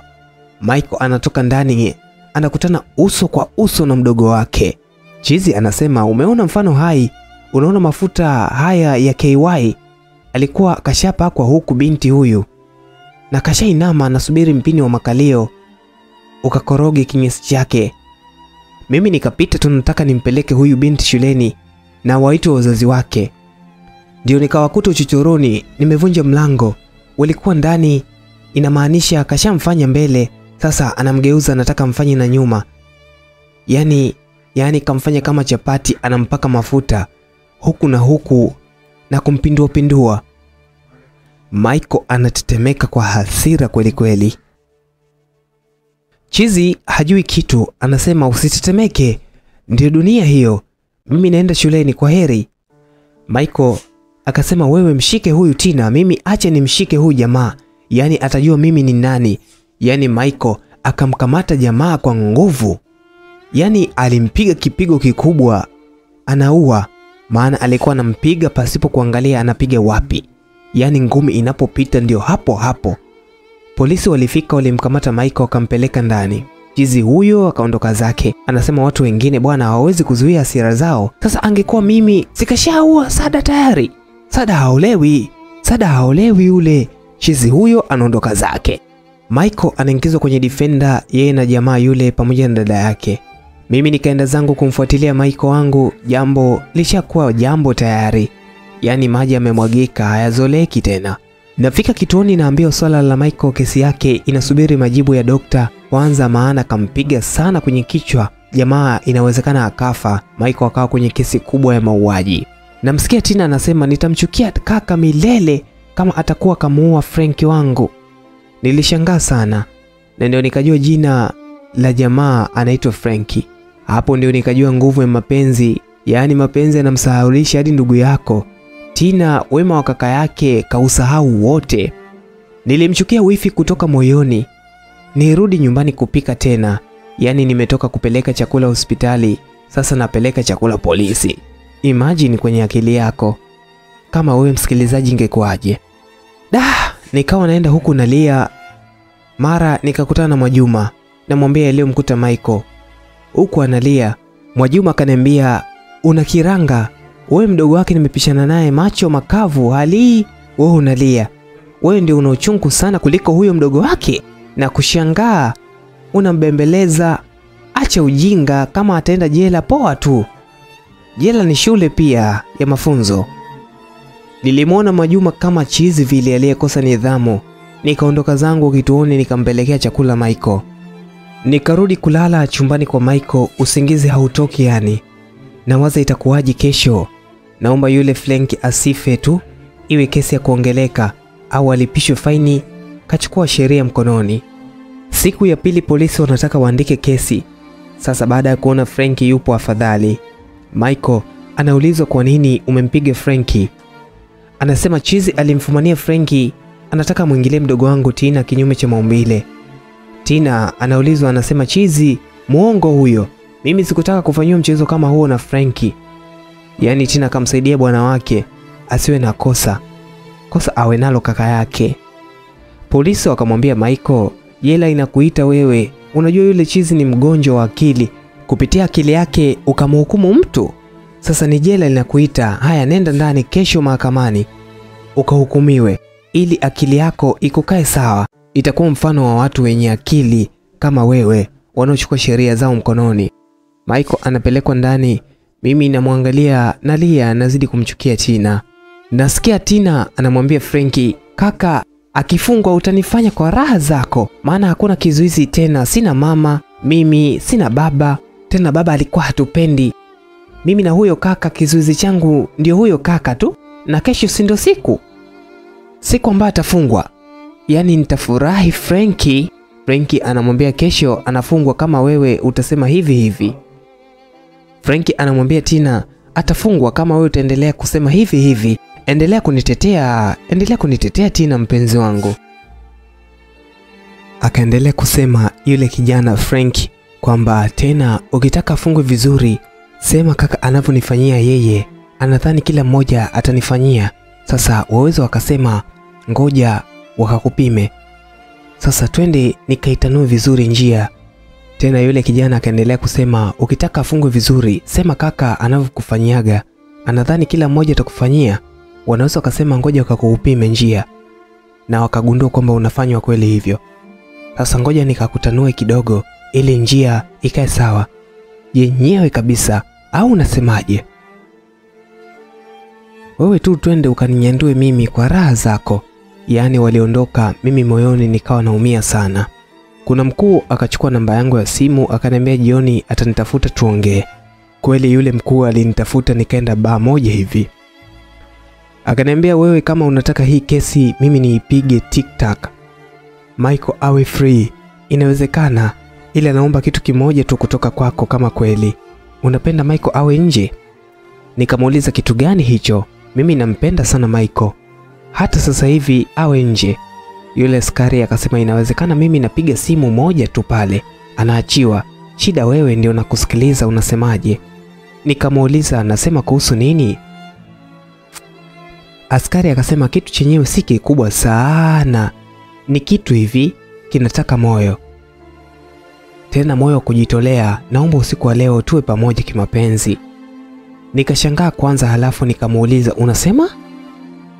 Akaniambia naomba uwe mpenzi wangu leo ili kesho nikusaidie. Shika na laki tatu hii, mimi nimependa jinsi ulivyo. Namtoa Michael sasa hivi Nakwambia ukweli, naomba unikubalie, tutanunua kondomu tutatumia. Wakati nafikiria nimpe jibu gani, kaniwekea laki tatu kwenye sketi yangu, ananiambia pesa hii hapa. Napiga simu Michael atoke, ibaki kazi kwako kwenda kunipa utamu mimi. Naona leo nini tena hiki kimenikuta.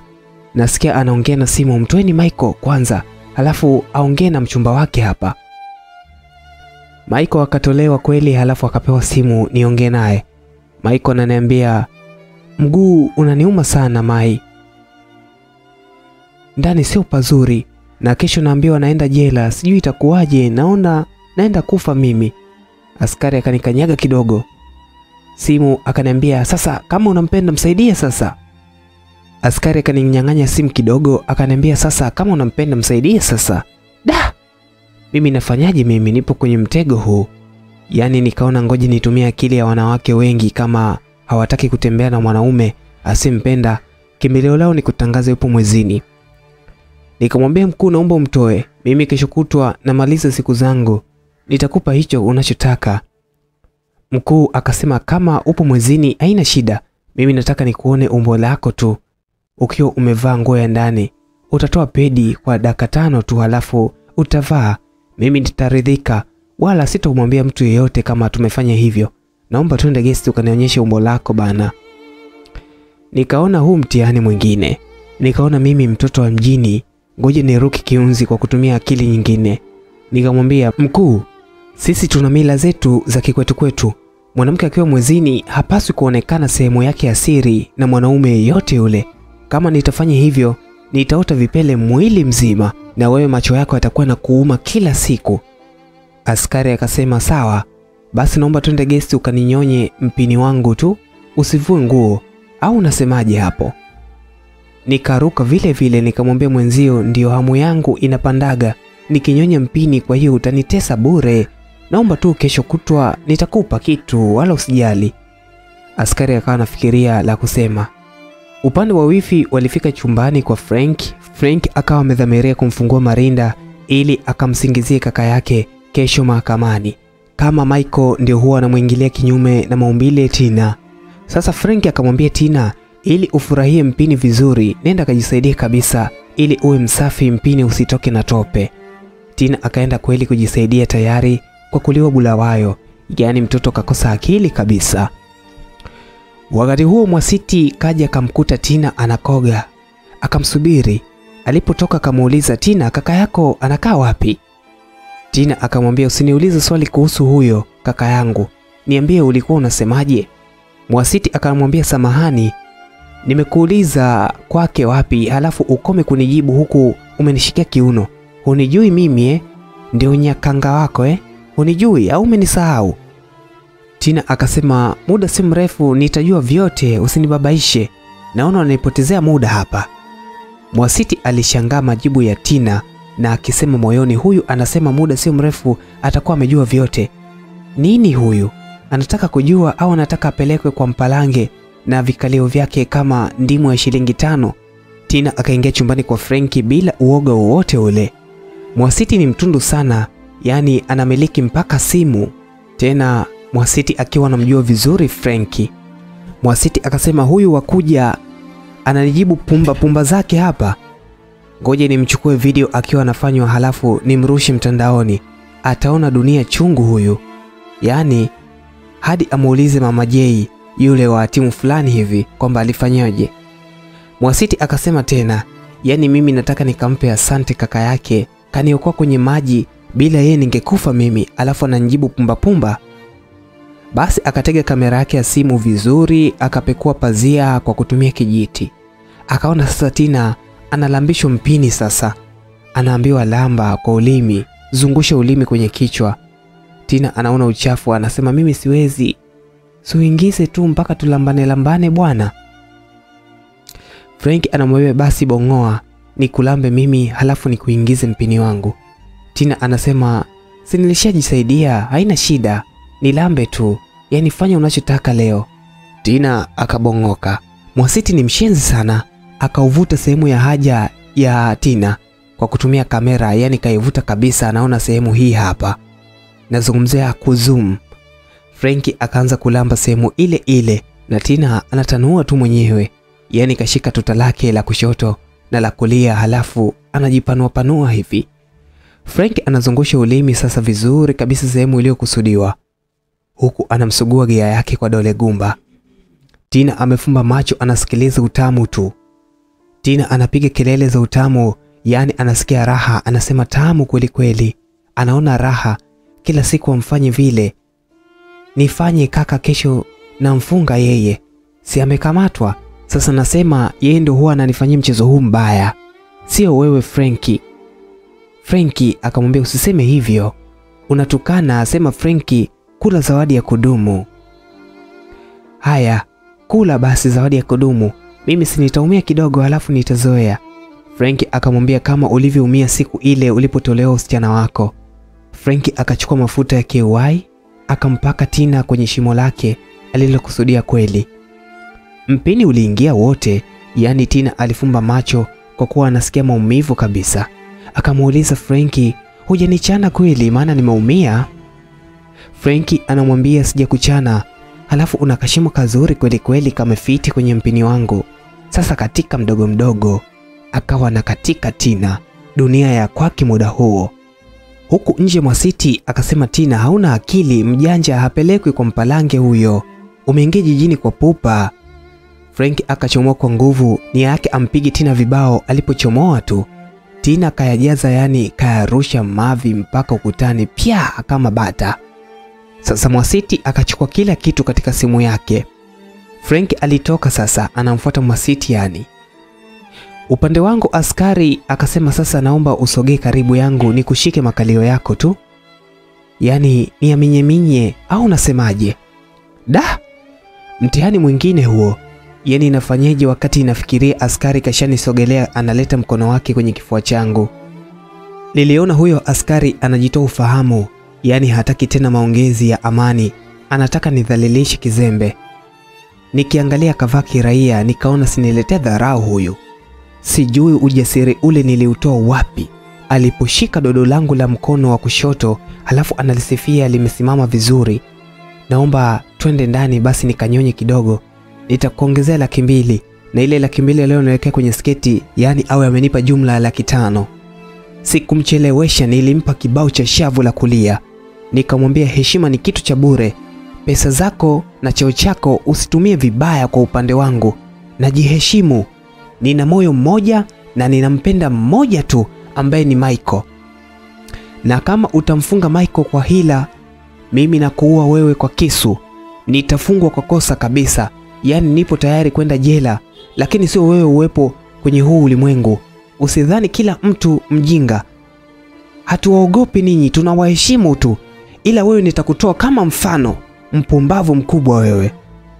Yule askari aliogopa kwanza, anashangaa anacho cheo kikubwa, halafu namtishia, akaniambia mimi naondoka, nakwambia namfunga Michael, na wewe huwezi kunifanya chochote, hunijui eh?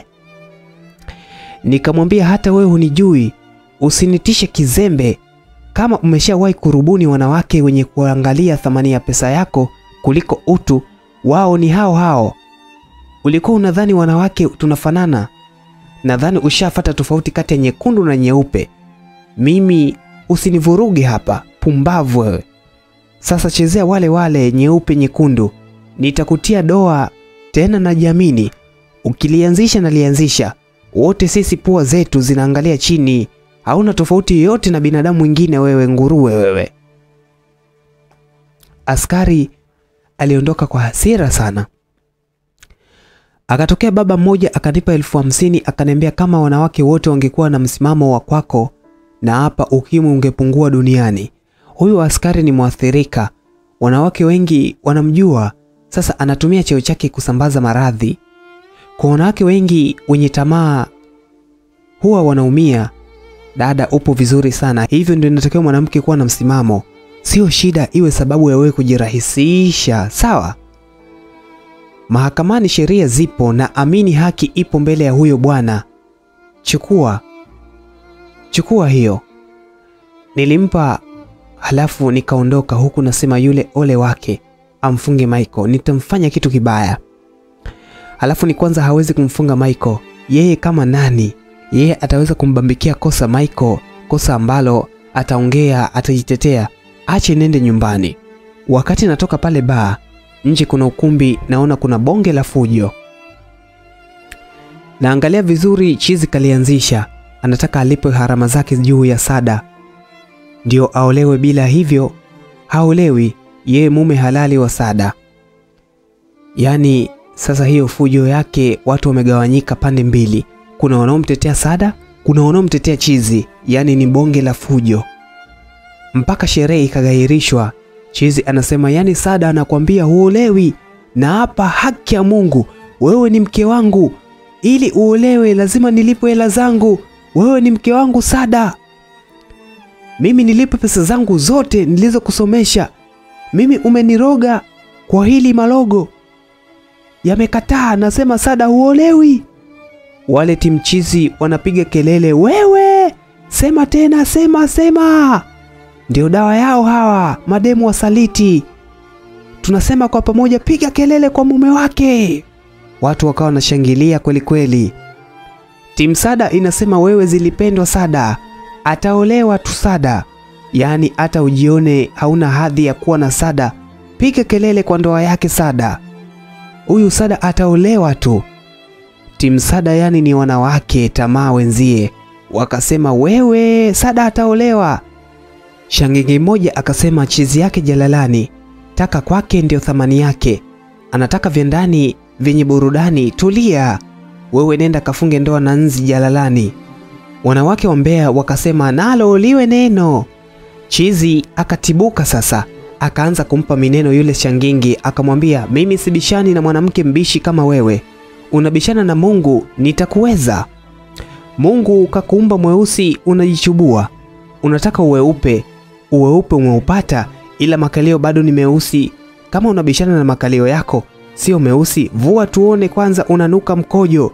Sifa yako kubwa, unajua kujikokoboa tu makalio yako. Sura yako hata huikumbuki, hunyoi mpaka uwe na ahadi ya Bwana. Kazi kudakia dakia ndoa za watu tu. Mbona wewe huolei papai uliopigika na jua? Wewe una neno nikupe lingine? Nasikia ukikaa chini ukinyanyuka chini kumeloa. Umekuwa mkasi, hukati mbele mpaka ushikwe nyuma. Timu ya chizi wakasema mpe, mpe vidonge vyake, akimeza akitema atajua mwenyewe, takanyaga tu. Shangingi kaingia mitini, watu walisambaratika wote. Mimi nikasema chizi kumbe ana maneno, kamziba kidomodomo yule Shangingi, bingwa wa kuchamba. Upande wa Mwasiti alikimbia baada ya Frenki kuwa anamfuata. Anakimbia huku anamwambia wewe utajua hujui, ngoje tu maharage yakiwa juu hayajaiva, yakiiva yatashuka tu chini yenyewe, muda sio mrefu utaiva tu wewe kama maharage maji mara moja. Huku anakimbia Mwasiti. Frenki hajampata Mwasiti hata kidogo, alafu hajui Mwasiti kwa nini kamwambia maneno yale. Upande wangu nilirudi nyumbani, kesho yake nikaenda mahakamani. Ndipo nilipomwona Michael kama mnyonge ameletwa na mkuu yule pale mahakamani, halafu mdogo wake Tina yupo na bwana wake Frenki mahakamani. Yaani nilimwona Tina ni mwanamke mjinga sana, tena mwanamke wa ajabu. Ila sijishangaa sana, maana hata wanawake wengine mtaani wanachukia kaka zao au ndugu zao pale wanapokuwa wanafuata mahusiano yao. Ndiyo Tina yeye kavuka mipaka, anataka mfunge kabisa kaka yake kwa sababu ya upumbavu. Sasa kesi ilizungumzwa, alionekana Michael ana makosa kuchukua sheria mkononi kwa maneno ya kuambiwa na Chizi. Tena Chizi ni mtu mwenye ugonjwa wa afya ya akili. Michael anazo akili timamu, kwa nini alichukua maamuzi mikononi? Tina alisema mchezo huo wa kuingiliwa mimi kinyume na maumbile ananifanyaga kaka huyo huyo, si huyu Frenki. Frenki hajawahi hata siku moja, ila huyo kaka ndio ananifanyaga mimi kila siku. Halafu Tina anajifanya analia, anashika makalio yake. Hakimu, wazee wa mahakamani pale, watu wote walimchukia Michael. Michael kaachama mdomo, yani hamini alichokisikia kutoka mdomoni mwa mdogo wake kipenzi ambaye alikuwa anahangaika naye muda wote. Michael chozi linamtoka. Hakimu akasema chozi lako haliwezi kukuepusha na kifungo cha jela cha miaka 30 wewe. Tina, malizia. Alianza kukufanya huo mchezo ukiwa na umri wa miaka mingapi? Tina alionyesha kwa ishara miaka kumi. Jamani, jamani, jamani, jamani, ilikuwa ni hatari kwa Maiko. Yaani kila mmoja alitamani kama kungekuwa na sheria, mpigeni mawe mtuhumiwa mpaka afe. Yaani Maiko angepigwa mawe, hakuna angeweza kumtetea, maana wamama waliokuwa mahakamani wote matumbo ya uzazi yalisisimka kwa uchungu. Hakimu akataka kuongea kwanza, akainama chini kwa hasira, anafuta chozi. Na shangaa Mwasiti ameingia mahakamani ghafla, halafu anasema, Mheshimiwa hakimu, samahani sana, naomba unisikilize, ni mpango mchafu uliopangwa na Frenki ili amfunge Michael. Hakimu alishtuka kidogo. Bahati nzuri alimpa nafasi Mwasiti kujielezea. Mwasiti akaanza kusema, huyu Frenki ni mtu anayetembea na wanafunzi tofauti tofauti, mimi mwenyewe kashawahi kunibaka, ila ukiachana na hilo, ushahidi wa video hii hapa, Frank akimwingilia huyo Tina kinyume cha maumbile, tena huku akiongea kuwa kama mahakama itasema, tena kama mahakama inasema Tina akapimwe njia ili Michael aje asingiziwe kwamba yeye ndio alikuwa anamuingilia kinyume Tina, ili mahakama iji kusema kwamba Tina. Mwasiti akaanza kusema huyu Frank ni mtu anayetembea na wanafunzi tofauti, mimi mwenyewe kashawahi kunibaka, na ukiachana na hilo, huwa anatembea na wanafunzi wengi sana, na ushahidi ninao huu hapa kwenye simu, Frank akimwingilia huyu Tina kinyume cha maumbile, tena huku akiongea kuwa kama mahakama itasema Tina akapimwe, ije kuonekana kweli kwamba Michael kamwingilia dada yake. Lakini jana Tina kaingiliwa kinyume na maumbile na ndio mara yake ya kwanza yani. Wamemtengenezea mkakati Michael ili kumwangamiza ili afungwe. Mheshimiwa Kim, naomba nikupe ushahidi wa video uangalie mwenyewe na usikie mikakati hiyo. Hakimu alipoiangalia video na maneno yale, anasikia yani hakimu alipandwa na hasira vibaya sana, akatoa hukumu pale pale, Tina naye jela miaka miwili. Michael alisali ishara ya msalaba huku moyoni analia sana. Kinamliza mdogo wake kwenda jela kinamuuma sana. Anajuta kwa nini alimleta mjini, bora angemwacha kijijini. Wamama wengine walikata rufaa juu ya hukumu hiyo ya Tina. Inaonekana Tina ni mdogo, amerubuniwa na Frenki kufanya kitendo kile. Rufaa yao ilisikilizwa wiki ijayo.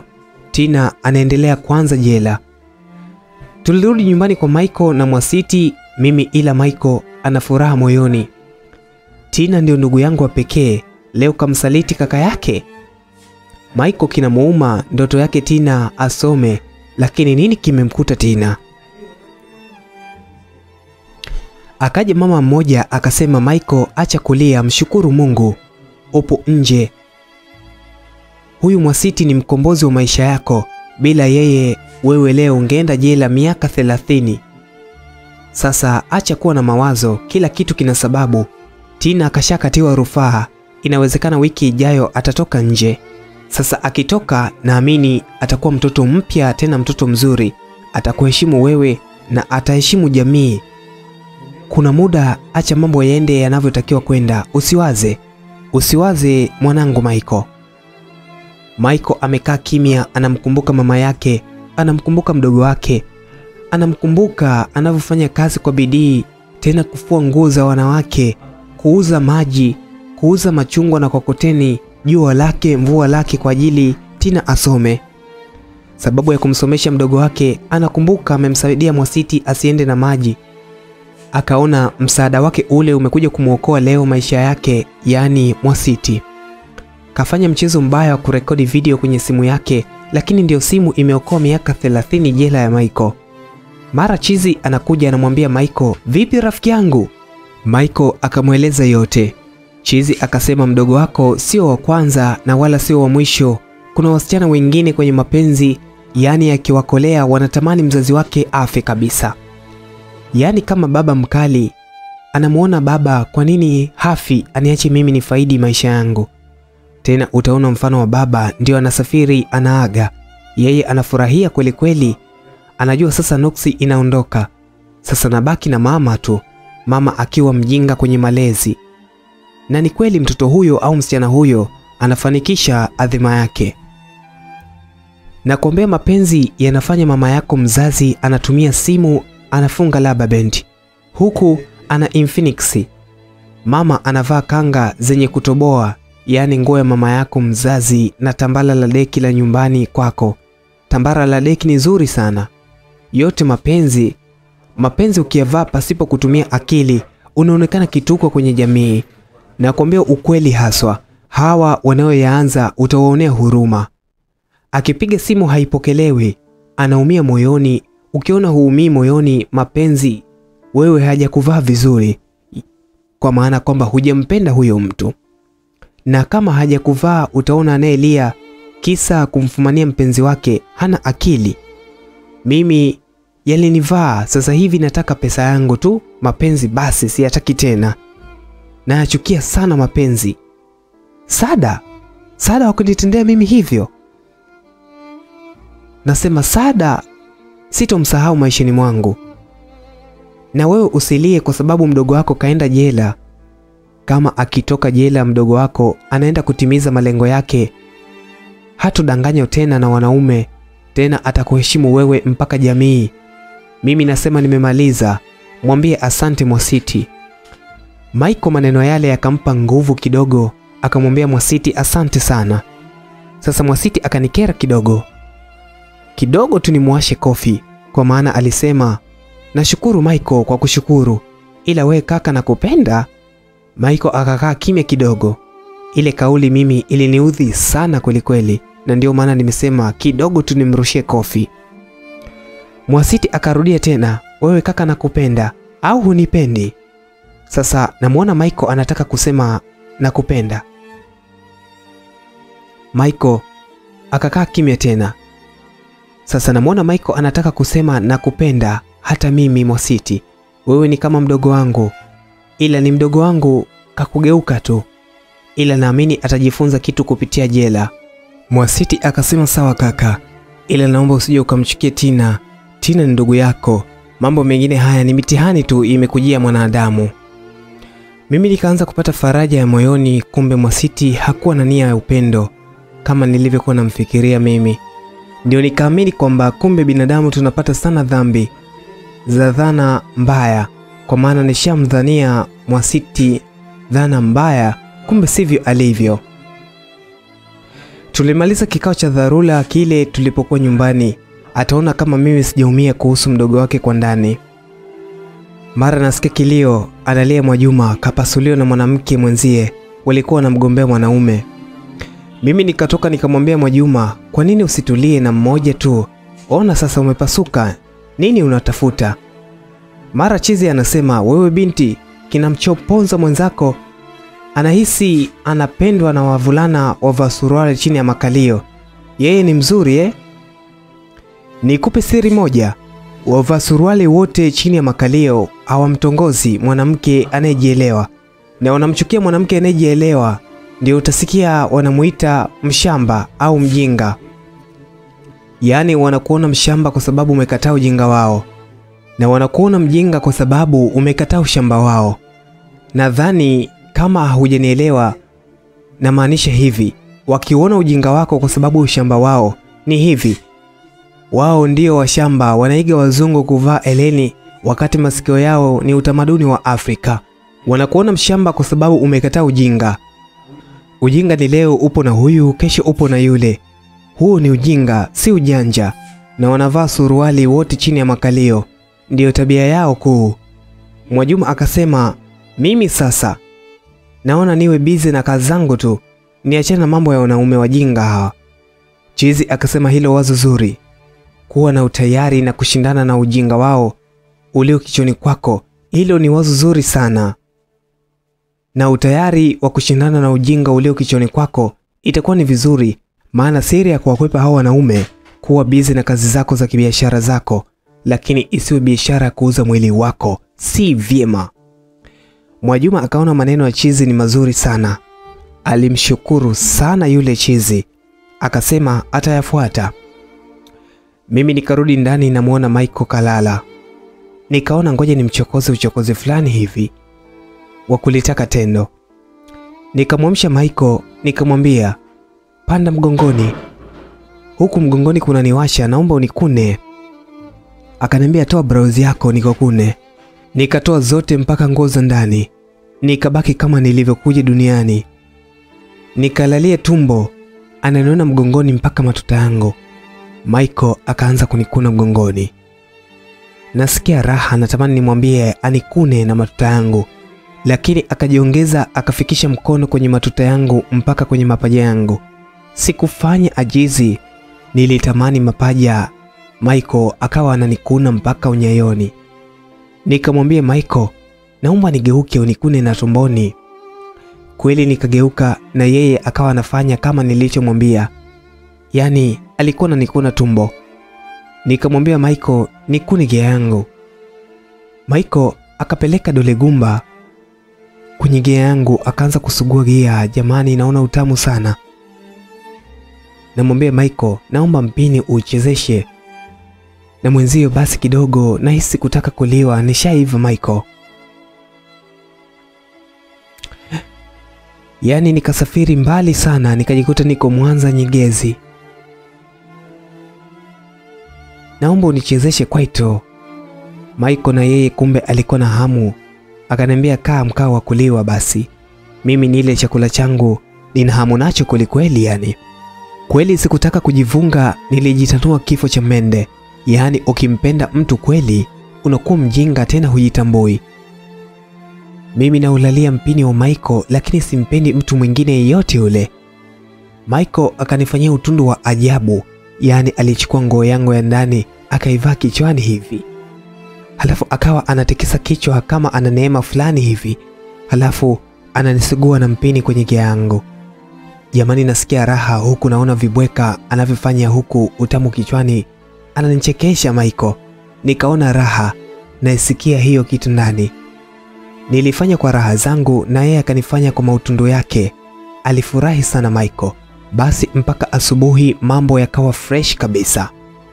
Sasa maajabu ya Mungu, yule Sada bwana wake anayetaka kumwoa alikubali kumlipa Chizi pesa yake ili amwoe Sada. Kweli Chizi alilipo pesa na mambo yakamnyokea. Chizi bosi wake kumbe alisafiri akarudi, akamkuta Chizi yupo tafarani. Kumbe Chizi alipokuwa anarogwa akajifanya chizi ili asilogwe na yule Sada. Akajua kuwa mganga kashafanikisha zoezi lake. Sasa Chizi mambo yamekuwa sawa, akajitoa kwenye ukaji wa kichizi. Sasa mambo yalimbadilikia bwana wake Saada, kazi kafukuzwa, maisha yakawa magumu. Mtihani ukaja kwa bwana wake Sada, akamwona Sada ni noksi kwenye maisha yake, akamwacha akamwambia, usinifuatilie fuatilie kwenye maisha yangu, wewe mwanamke ni noksi sana. Kama uliweza kumroga mwanaume aliyekusomesha, umeniroga na mimi nikupende sana, mwishowe umenipa nuksi kwenye maisha yangu. Sada akaona dunia imemgeukia vibaya mno. Upande wa Tina, rufaa ilikubaliwa, alitoka Tina. Tina alilia sana, akamwomba msamaha kaka yake tena kwa sana, huku akitembea na magoti. Akasema hatorudia tena, atakuwa mtoto mtiifu namba moja kwenye hii dunia. Michael alimsamehe Tina na akamwambia soma mdogo wangu. Sasa Chizi akamuongea kazi Michael kwa bosi wake. Michael akapata kazi nzuri na akatangaza ndoa kwangu. Chizi akampenda Mwasiti kwa tabia aliyoonyesha mahakamani, na Mwasiti alifeli shule, wazazi wake walikataa kumsomesha. Basi walimpa mke Chizi, na Chizi kama kawaida yake anapenda kuimba siku hiyo kwenye harusi yake, akaomba aimbe nyimbo mpya ya Lavalava. Watu wamejaa wanamwangalia Mwasiti.